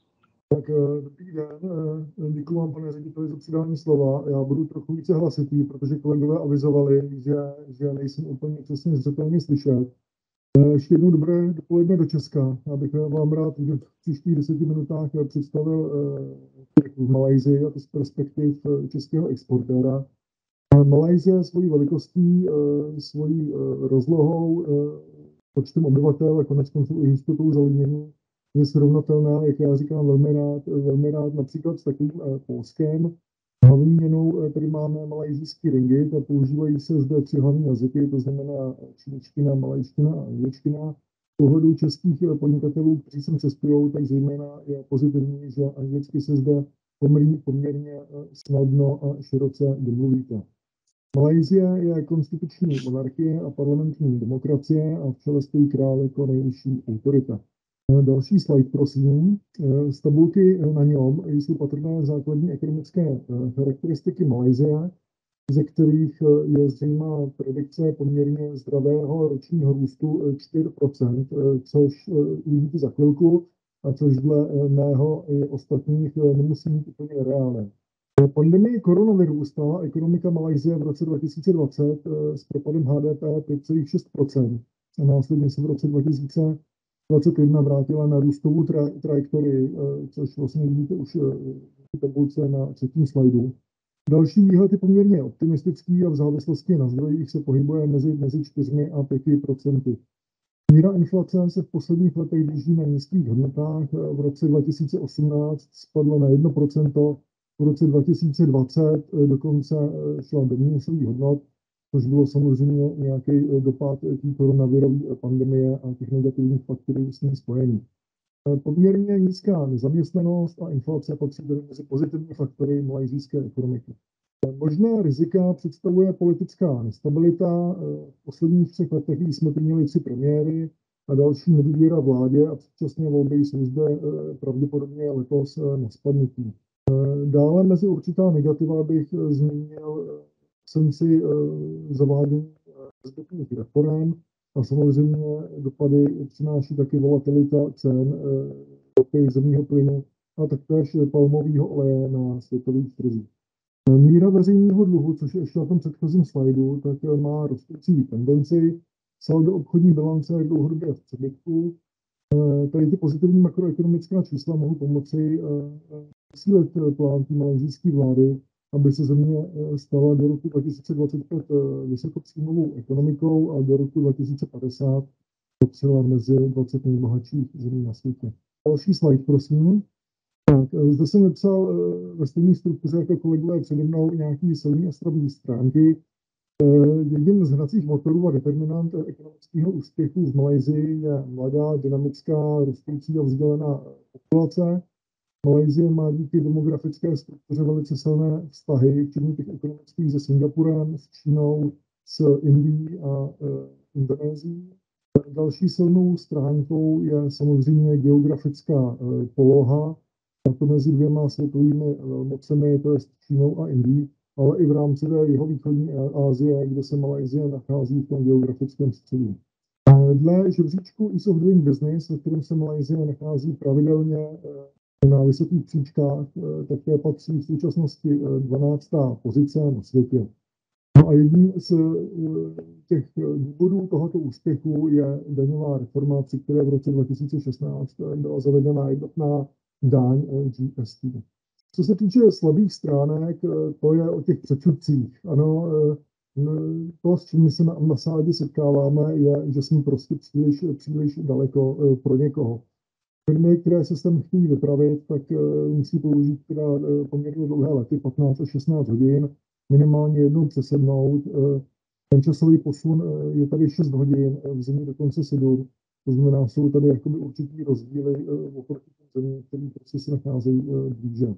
Co se týče hrozeb, tak Malajzie je ekonomicky stabilní země, a na azijské poměry i politicky, to znamená investování a obchodování. Jak zmínil pan ředitel Hlavatý na začátku, tak představuje nízká nebo, nebo žádná rizika. To úvěrový riziko, co vydal Moody's, taky A minus, což je stejné jako například to Polsko, které jsem zmiňoval, zmiňoval na začátku.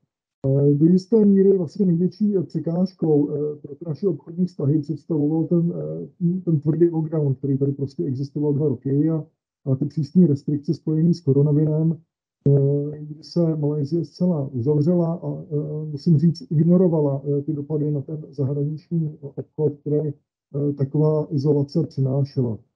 Nemohu v tento moment nezmínit, že vlastně od 1. dubna letošního roku, to znamená před 14 dny, bylo upuštěno od eh, karantény eh, a tak epidemiologické opatření eh, představují jenom nošení roušek na ulici, nějaká vakcinace a registrace, registrace při vchodu do různých budov a samozřejmě PCR test, což už samozřejmě nějakým způsobem zásadně usnadňuje a ulehčuje cestování těch firm sem k nám do teritoria.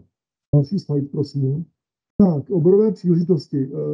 Já jsem sledoval eh, pozorně kolegyně, paní kolegyně Štedlovou z Indonésie a je zajímavé, že eh, u nás v Malajzii eh, ty, ty, ty perspektivní sektory jsou, jsou vlastně skoro totožné, což potvrzuje zase tu myšlenku, že, že zde to teritorium přináší ty příležitosti pro firmy stejné nebo podobné a je možné třeba spojit často i ty cesty v rámci jeho východní Asie pro firmy a, a využít tak pří, pří, přítomnosti zde na trhu. Eh, z naší zkušenosti asi největší, největší uh, příležitosti nabízí obraný a bezpečnostní sektor. My jsme zde společně s Ministerstvem průmyslu a obchodu České republiky a s Ministerstvem obrany nedávno uskutečnili velkou a musím říct, že zdařilou prezentaci na veletrhu DSA, které se zúčastnilo 15 českých firm to samo o sobě svědčí o tom, jak české firmy vnímají zakázky a jak třeba i v návaznosti na tu diversifikaci tradičních trhů, o které se tady dneska bavíme, i objevovat uh, nové trhy, teda konkrétně Malajzie v tomto, v tomto ohledu. Dalším sektorem, uh, na který se naše velvyslanectví soustředí, je zemědělství, je to potravinářství. My zhruba za měsíc plánujeme uskutečnit další projekt na podporu ekonomické diplomacie, takzvaný PROPET, podpoříme právě exportéry eh, při eh, cestě na Borneo. Potenciál civilního letectví vychází eh, ze silné pozice Malajzie, jakožto leteckého hubu mezinárodního a regionálního významu. Kromě letadel zde existuje potenciál pro radary, pro telekomunikační techniku, pro navigaci, surveillance systémy a tak dále. Kromě, stále více kromě toho konvenčního letectví se setkáváme i s, se zprávama o uchycení v Malajzii s drony. Malajzie se netají eh, svými ambicemi eh, se zařadit mezi rozvinuté ekonomiky a sektor ICT je přímo definován v jejich 12. pětiletce jako jeden z těch sektorů, který má eh, pomoci to dosáhnout. Pro české firmy tak přichází nejvíce v úvahu možnosti se zapojit do zakázek v oblasti e-commerce, cyber security, zejména herní průmysl, nebo například vývoje aplikací ve Smart Cities. Jedním z dalších sektorů, kde existuje potenciál pro rozvoj a uchycení českých exportérů je vodní a odpadové hospodářství, které bylo dlouhou dobu v Malajzii zanedbáváno. Kvůli měnícímu se klimatu Malajzie poznává, že musí změnit mnoho věcí. Konkrétní zakázky tak čekají na čistírny odpadních vod, sběr a skladování dešťové vody, její distribuce, monitoring, environmentální audity, konzultační služby a tak dále. Klíčovým sektorem my tady vnímáme, že je sektor zdravotnického vybavení, zdravotnictví a farmaceutický průmysl. Malajzie plánuje velké investice do rozšíření sítě nemocnic a další podpory domácího farmaceutického průmyslu. Konkurence pochází samozřejmě z těch okolních států. Do toho ještě musím zmínit rozvinutý gumárenský průmysl, protože Malajzie je jedním z hlavních výrobců gumových rukavic pro zdravotnictví. Všiml jsem si, že mezi firmami, které se přihlásily na, na tento seminář, je i český výrobce pro chirurgické různé stenty a cévní náhrady a tak dále. Určitě je možné se s náma napřímo napojit, protože máme zkusku asi za týden s Národním institutem kardiochirurgie. To znamená, rádi, rádi budeme i firmu, která je dnes zde přítomná, nějakým způsobem v případě zájmu prezentovat. Další věc, kterou nemohu nezmínit velice, velice krátce, je, je stavební, stavební průmysl. Ti, kteří navštívili Kuala Lumpur v poslední době, tak si všimli, jak tady probíhá ta urbanizace. Je tady poměrně silná, stavební boom a kromě těch stavebních firm, které jsou samozřejmě lokální, tak existují i příležitosti pro firm z navazujícího průmyslu. A tím mám, tím mám myslím, zejména, zejména sklářský průmysl.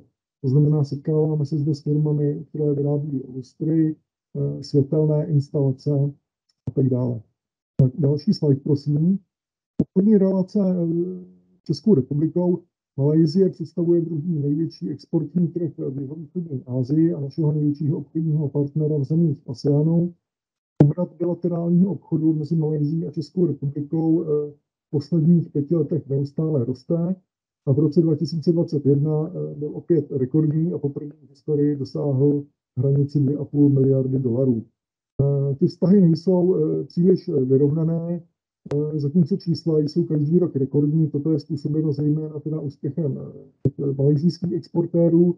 Ten náš export stagnuje kolem 180 až 200 milionů dolarů ročně, ale co je pozitivní, že toto číslo se nezhoršilo ani během toho období, které, kdy to bylo zasaženo covidem. Předposlední slide, prosím. Když se podíváme na to, s jakým zbožím jsme, jsme v Malajzii úspěšní, tak to složení je zcela unikátní a velmi odlišné od toho, co jsem poznal například během svého působení na firmě. Našemu exportu dominují elektronické obory a odráží silné stránky malajzijského elektronického průmyslu. Tím souvisí i druhá největší položka našeho exportu, což jsou chemikálie pro elektronický průmysl používané především pro zpracování kovů. Možná trochu překvapení, syrovátka je jednou z našich největších položek našeho exportu. Ostatní položky už nejsou tak objemové velké, nicméně stále významné a jednou z nich jsou náležitosti pro výrobu výbušnin, to znamená rozbušky, zápalnice, roznětky a další jejich součástky. V předchozích letech jsme sem dovezli taky, taky značné množství automotiv komponentů, včetně, včetně pneumatik na obrázku. Tak a poslední slide, prosím. Na něm je otisk nějakých českých firm, kde my evidujeme jejich úspěch. Zdravím paní Sochánkovou, pak už je přítomná. Z těch, kteří zde působí dlouhodobě, bych představil zejména Optocon, Dermacon, Czech Aviation Training Center, LRU, zmíněné skláře z Lasitu, Bohemia Crystal či Sansusi. S mnoho dalšími my jsme samozřejmě v kontaktu během takzvaných našich individuálních služeb. Poslední slide, prosím, na kterém už vlastně jsou jenom mé kontaktní údaje a já bych byl rád, pak, když budete naši ambasádu kontaktovat v případě, že by, že by, vás, že by vás ta Malajzie lákala a rádi se vám budeme věnovat samozřejmě potom, potom i dál. třeba i formou videokonference, kde si můžeme říct sami, jak to s tím Malajzí vidíme a co bychom vám doporučili. Děkuji Milanovi Dostálovi za e, informaci o Malajzii. Já jenom řeknu jedno slovo, protože čas vám běží, nebo pár slov. Měl jsem možnost tam před 14 dny být e, na dva dny na e, tom e, veletrhu e, obraně bezpečnostním. E, bylo to po dvou letech takováhle neuvěřitelně veliká a nechci říct pompezní, ale velmi dobře zastoupená akce ze strany ZU výborně připravená.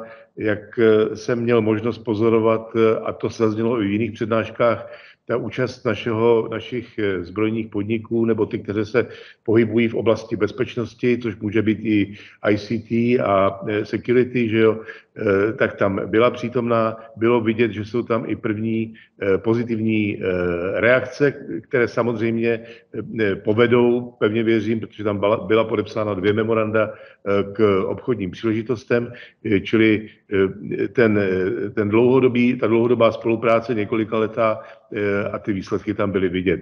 Takže já za to eh, děkuji Milanovi a eh, poprosil bych eh, posledního z Ázie a to je, to je Martin Maroš. Vod, děkuji.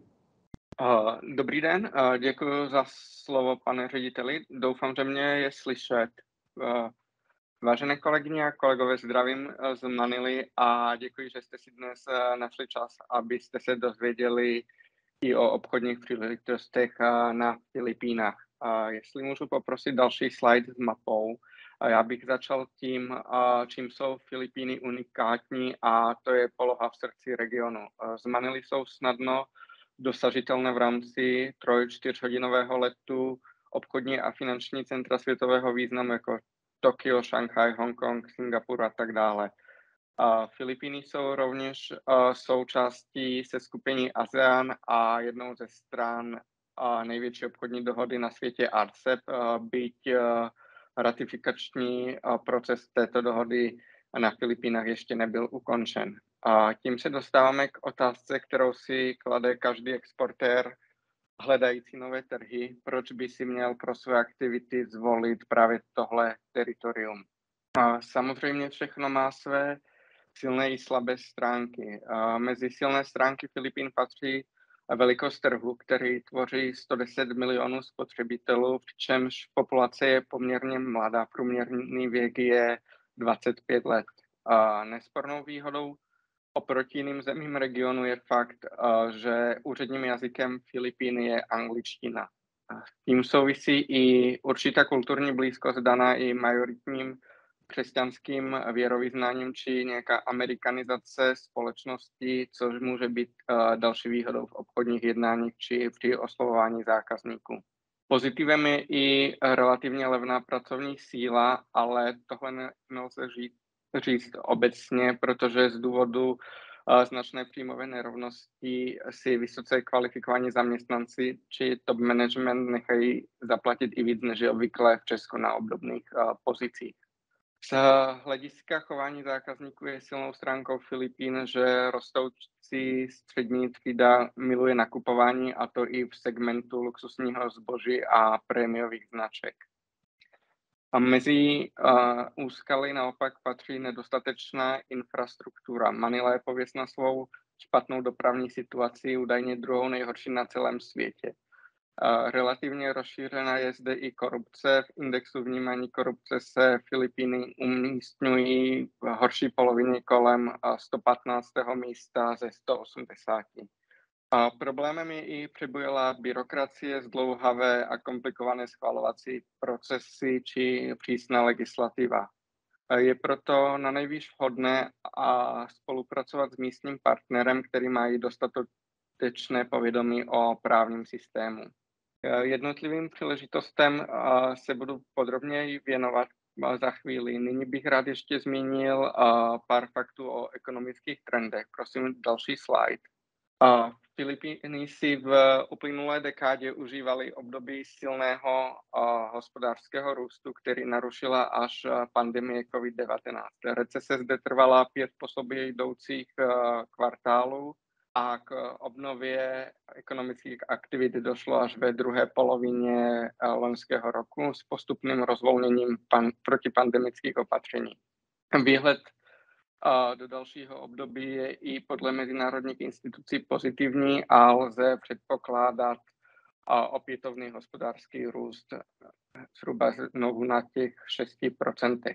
A z hlediska bilaterální přetrvává rostoucí tendence obchodní výměny. Loni to bylo 630 milionů dolarů, nárůst zhruba o 6% proti roku 2020. Český vývoz představoval téměř 120 milionů dolarů, bilance tak v neprospěch ČR negativní a to i z důvodu, že Filipíny těží z účasti v režimu GSP+, který jim umožňuje bezcelní dovoz na trhy EU. Většinu obchodní výměny tvoří integrované obvody a stroje pro automatické zpracování dat, Jde tedy zejména o pohyby v rámci dodavatelských řetězců nadnárodních korporací. Z dalších položek je pak silně profilující se vývoz zbraní a střeliva. V loňském roce to bylo více než 209 milionů korun. To už se dostávám k těm jednotlivým sektorům, jestli můžu poprosit uh, další slide, tak ten výběr, na který se zaměřím, je podobný, jak už znělo od kolegu Milana Dostala nebo od paní Šejdlové, uh, takže bych začal obranným průmyslem. Další slide, prosím. Rostoucí napětí v Jihočínském moři, respektive v regionu, vyžaduje modernizaci všech složek ozbrojených síl. Od roku 2008 se tady administrativa snaží o druhý horizont programu modernizace, rozpočet je tam více než 124 miliard korun. Doposud bylo vyčerpáno asi 40 miliard a pro letošek bylo schváleno v přepočtu 12 miliard korun. Letošek eh, by se měl zaměřit na pořízení transportéru, nákladních vozů, na přepravu vody paliva, pistoli a střelovacích pušek s dlouhým dosahem.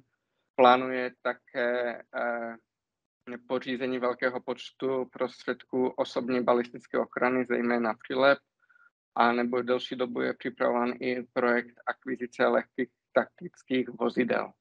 Ministerstvo rovněž eh, plánuje investice do protivzdušné obrany, kde by české firmy mohly nalézt uplatnění v radarové technice nebo při účasti na těchto modernizačních projektech lze obchodní případy realizovat i formou government to government na základě mezivládních ujednání a za zapojení nedávno vzniklé agentury Ministerstva obrany ČR a MOS. Díky ohromné popularitě sportovní střelby tady na Filipínách nelze opomenout ani civilní sektor obchodu s zbraněmi. O jehož významu svědčí i výše obchodní výměny, kterou jsem eh, zmínil. A poprosím další slide k leteckému průmyslu. Země rozprostírající se na sedmi tisících ostrovech, z nich je dva tisíce obydlených bude vždy odkázána na využívání letecké dopravy. I přes její značné omezení z důvodu pandemie COVID lze v následujícím období očekávat další investice do sektoru, které vytvoří exportní příležitosti pro české firmy. Rozvoj letecké dopravy je součástí vlajkového programu filipínské vlády Build, Build, Build. A největším z projektů je výstavba nového mezinárodního letiště v Bulakanu pro metropolitní oblast Manily. Cílem tohoto projektu je nahradit a ulehčit dosavadnímu hlavnímu mezinárodnímu letišti. Projekt by měl zahrnovat výstavbu budou terminálu, čtyř runway, silnic a související infrastruktury. Nyní se nachází ve fázi pří, příprav. Dále s druhým projektem je projekt výstavby letiště v Cotabato, kde už je vybudovaná 1,8 km dlouhá runway a budova terminálu, ale stále chybí letí, další letištní zařízení, na jehož pořízení má pro letošek vláda vyčleněné v propočtu zhruba 1 miliardu korun. A dalších sedm projektů na modernizaci letišť formou partnerství PPP je ve fázi schvalování. A prosím další slide k energetickému průmyslu. S pokračujícím rozvojem země bude stoupat samozřejmě i spotřeba energie a ministerstvo energetiky usiluje o dosažení úplné elektrifikace zbývajících přibližně 5 až 6% neobsluhovaných a nedostatečně obsluhovaných oblastí na Filipínách. Na realizaci tohoto programu elektrifikace venkova byla v letošním roce vyčleněna přibližně 1 miliarda korun a příležitosti tak zahrnují výstavbu dálkových rozvodů, elektroinstalací v domácnostech či solární elektrifikaci škol a vládních budov ve venkovských oblastech.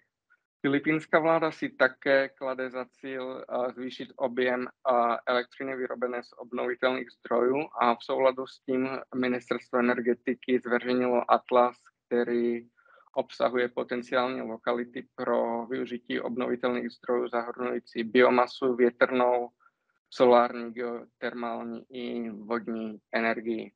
A na poli obnovitelné energie jsou aktivní i soukromé subjekty, které nabízí účast na projektech formou výměny aktiv za akcie.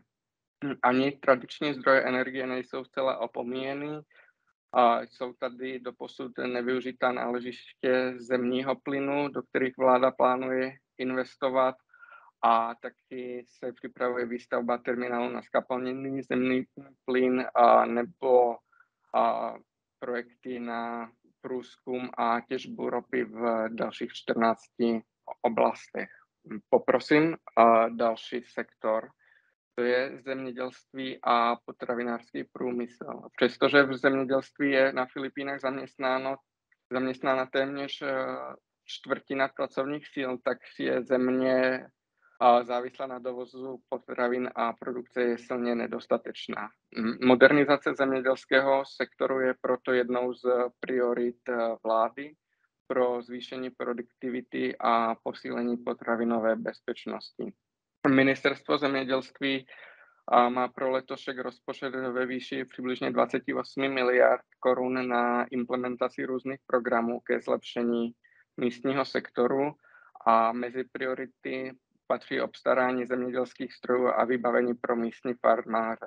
A v rámci těchto projektů se budou pořizovat stažná vozidla, kombajny, ruční traktory, traktory s pohonem všech kol nebo solární systémy hnojení. A tenhle sektor je význačný i z pohledu na náš vývoz. A našem agrárním vývozu se výrazně profiluje i syrovátka. Loni se jí dovezlo zhruba za 48 milionů korun a to z důvodu, že Filipíny jsou téměř zcela závislé na dovozu mléčných výrobků.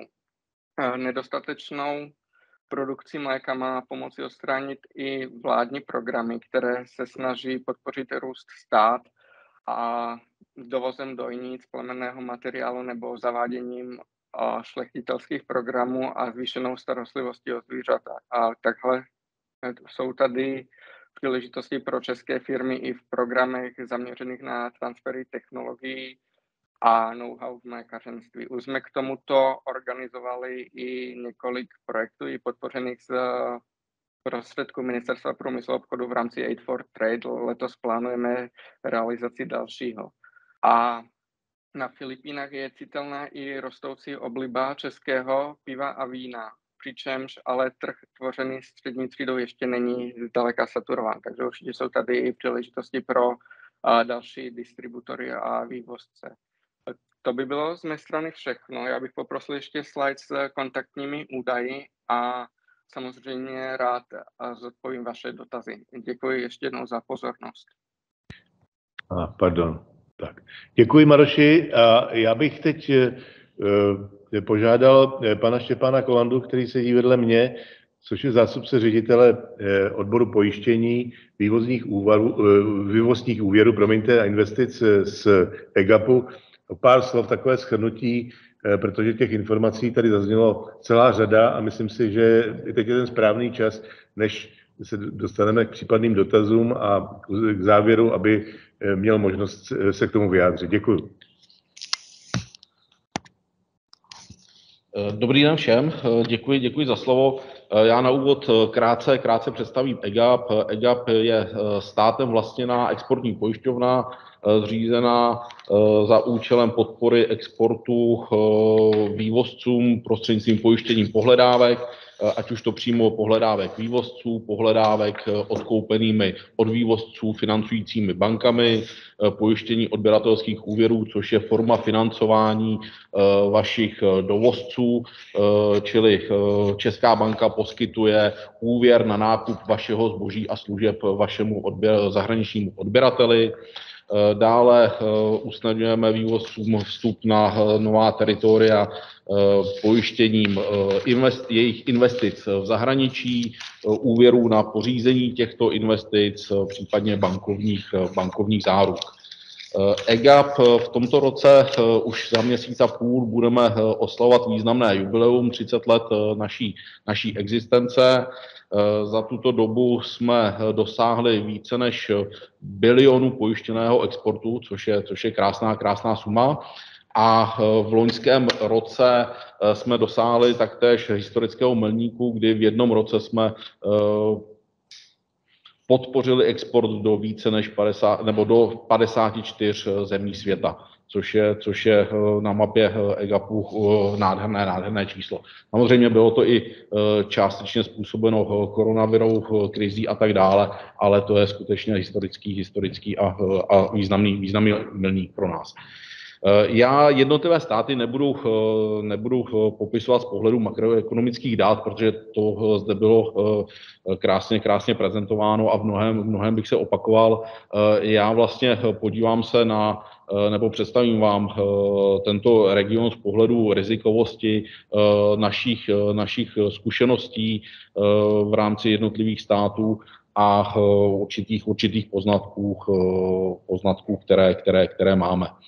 Eh, začnu, eh, začnu, eh, co se týče hodnocení rizikovosti podle škály OECD, což je mezinárodní klasifikace.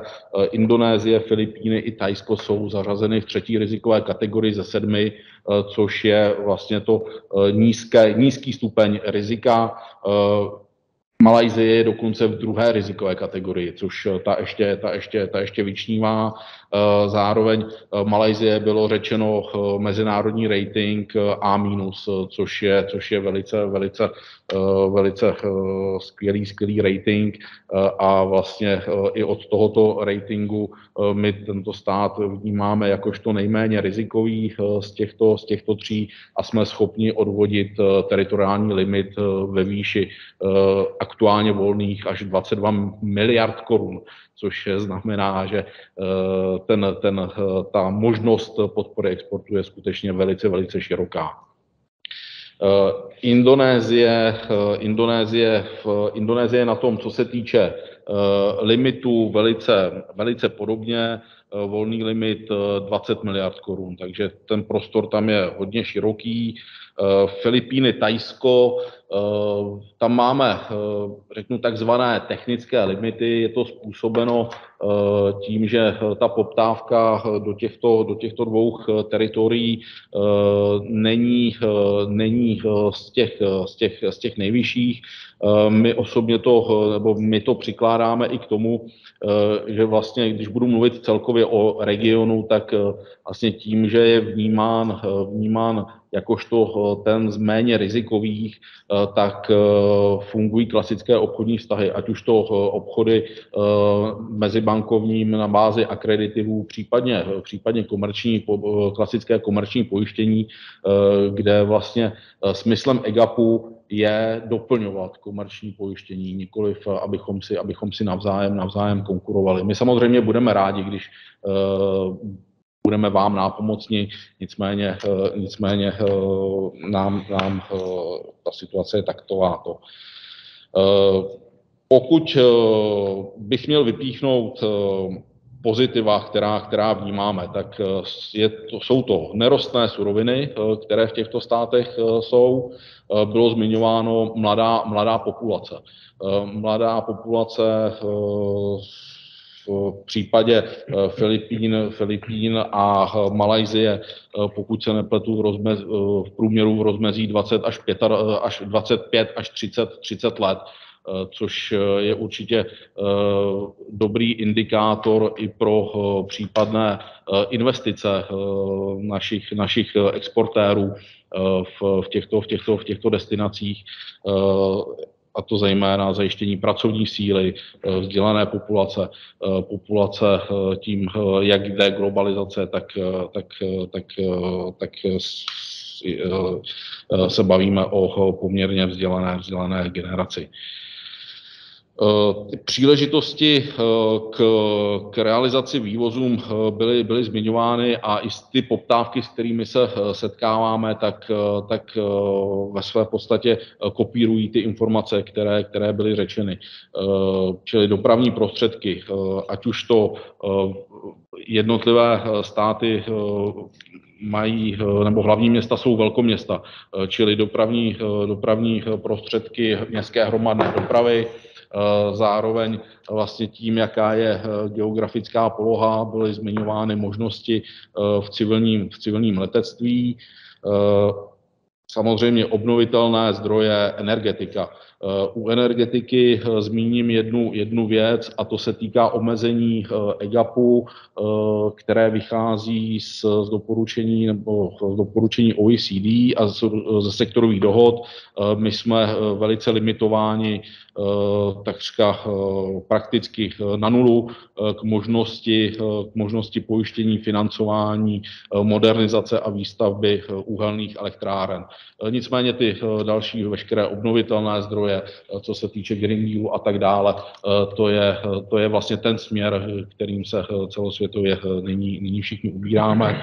A nebudu, nebudu, nebudu říkat v neposlední řadě obraný průmysl, konkrétně co se týče Indonésie, tam jsme v intenzivním jednání, už historicky máme zkušenosti s indonéskými partnery a nyní, nyní probíhají, probíhají další, další, další jednání o významných dodávkách. Je to, je to kombinace, kombinace i obraného, obraného průmyslu v, v kombinaci s, s bezpečnostní s letišť. Jaký typ rizika obecně pro toto teritorium jsme schopni přijmout? Samozřejmě korporátní riziko, bankovní riziko, suverénní riziko, takže tam je to, je to, je to, je to velice, velice otevřené a, a těch možností je vícero. Já závěrem, závěrem k tomu mému skrnutí vždy říkám jedno doporučení vývozcům, nebo nejenom já, ale i mý kolegové, a to je to, že před uzavřením konkrétního obchodu je vždy dobré, když, když vy jakožto vývozci ten svůj vývozní záměr konzultujete se zahraničním úřadem, zástupci Czech Tradeu, financující bankou, případně, případně s námi, tak, abyste měli jistotu toho, že vlastně ten partner, s kterým jednáte, je jednak solidní v rámci, v rámci regionu a zároveň, zároveň z pohledu financující banky případně pojišťovny i financovatelný. My jsme za tímto účelem schopni pro vás vytvořit takzvaný prescoring, což je úvodní nějaká, nějaké finanční ohodnocení bonity, kde stanovíme rating a toto trvá horizontu pěti až deseti pracovních dní, kde na základě finančních výkazů, případně, případně informací, které, které, které jsme schopni získat z externích zdrojů, jsme schopni vyslovit nebo vám indikovat to, zdali váš partner je financovatelný a vlastně to je pro vás ta klíčová indikace toho dalšího potom následného pokračování. Protože samozřejmě důležité je uzavřít smlouvu o vývozu, zároveň je velice důležité zinkasovat za ně peníze. Toť vše, velice vám děkuji za pozornost. Já, já děkuji panu, panu Štěpánu Kolandovi. Já myslím, že to byla zajímavé, zajímavé shrnutí a dobrá informace o tom stavu, ve kterém teďka jsme. A vzhledem k tomu, že jsme překročili trošičku ten limit, tak se dostáváme k předposlední části toho našeho setkání a to je jakási interakce, dotazy, případné dotazy firm, které mohou být na naše prezentující, v případě na nás. Jsou-li takové, poprosím o ně. Všichni chtějí na oběd. Pokud, pokud tomu tak není, tak já bych si dovolil říct jenom velmi krátce pár slov na závěr.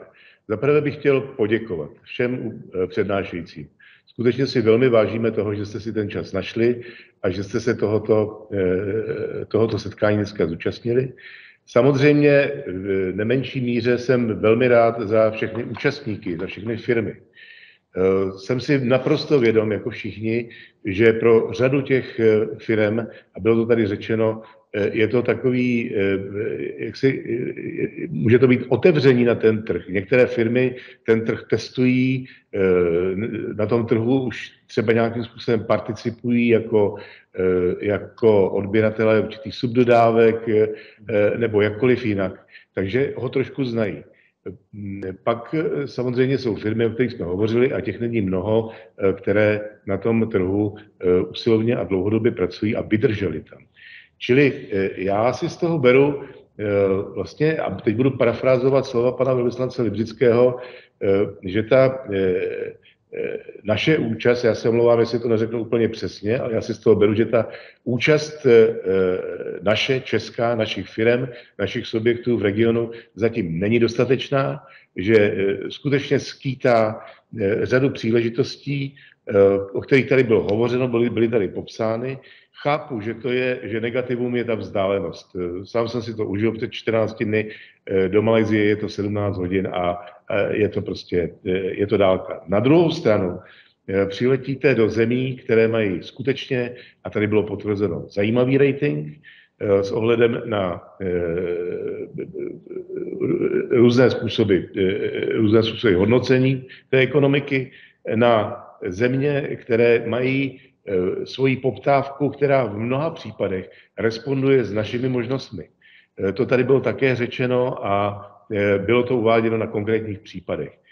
A to, o co se dneska snažíme, proč vlastně tu jsme, není seminář sám pro sebe, abychom si ho nějakým způsobem zaregistrovali jako provedený, ale je to, myslím, o tom, že teď jsme otevřeli, jako už i předtím kolegové, určitou kapitolu komunikace, která může tímto způsobem vzniknout mezi vámi, účastníky, mezi zastupitelskými úřady a kolegy, kteří dneska je reprezentují, mezi dalšími, a současně na druhé straně samozřejmě, a budeme velmi, velmi rádi za to, abyste komunikovali přímo s naším odborem, který se těmito vztahy zabývá, aby jste měli možnost i v rámci naší sekce se pobavit o konkrétních věcech, protože to, o, čena, o co nám jde a proč vlastně do toho vkládáme různá, různé, ať už ať už intelektuální nebo, nebo fakticky materiální prostředky v podobě výstacha, veletrh, propadů, propejí a tak dále, tak je skutečně jediná sná, abychom abychom se dostali ke konkrétním projektům, abychom je podpořili, aby se zvýšil, zvýšila a zlepšila ta obchodní bilance, aby se narovnala a abychom skutečně poznali, že to těžiště světa, které se teďka postupně nějakým způsobem vyvíjí a mění, se nyní z velké části nachází v oblasti, o které dneska hovoříme. Takže já si dovolím vám ještě jednou poděkovat a popřát vám krásné velikonoční svátky a pevně věřím, že se že, se, že budeme komunikovat dál, s tím, že poslední marketing, který tady si dovolím udělat, je, že 21. dubna po svátcích zase v 10 hodin pořádáme druhou akci, druhé kolo našeho semináře, který se tentokrát bude týkat Jordánska a Iráku. Moc vám děkuji a přeju vám příjemný den.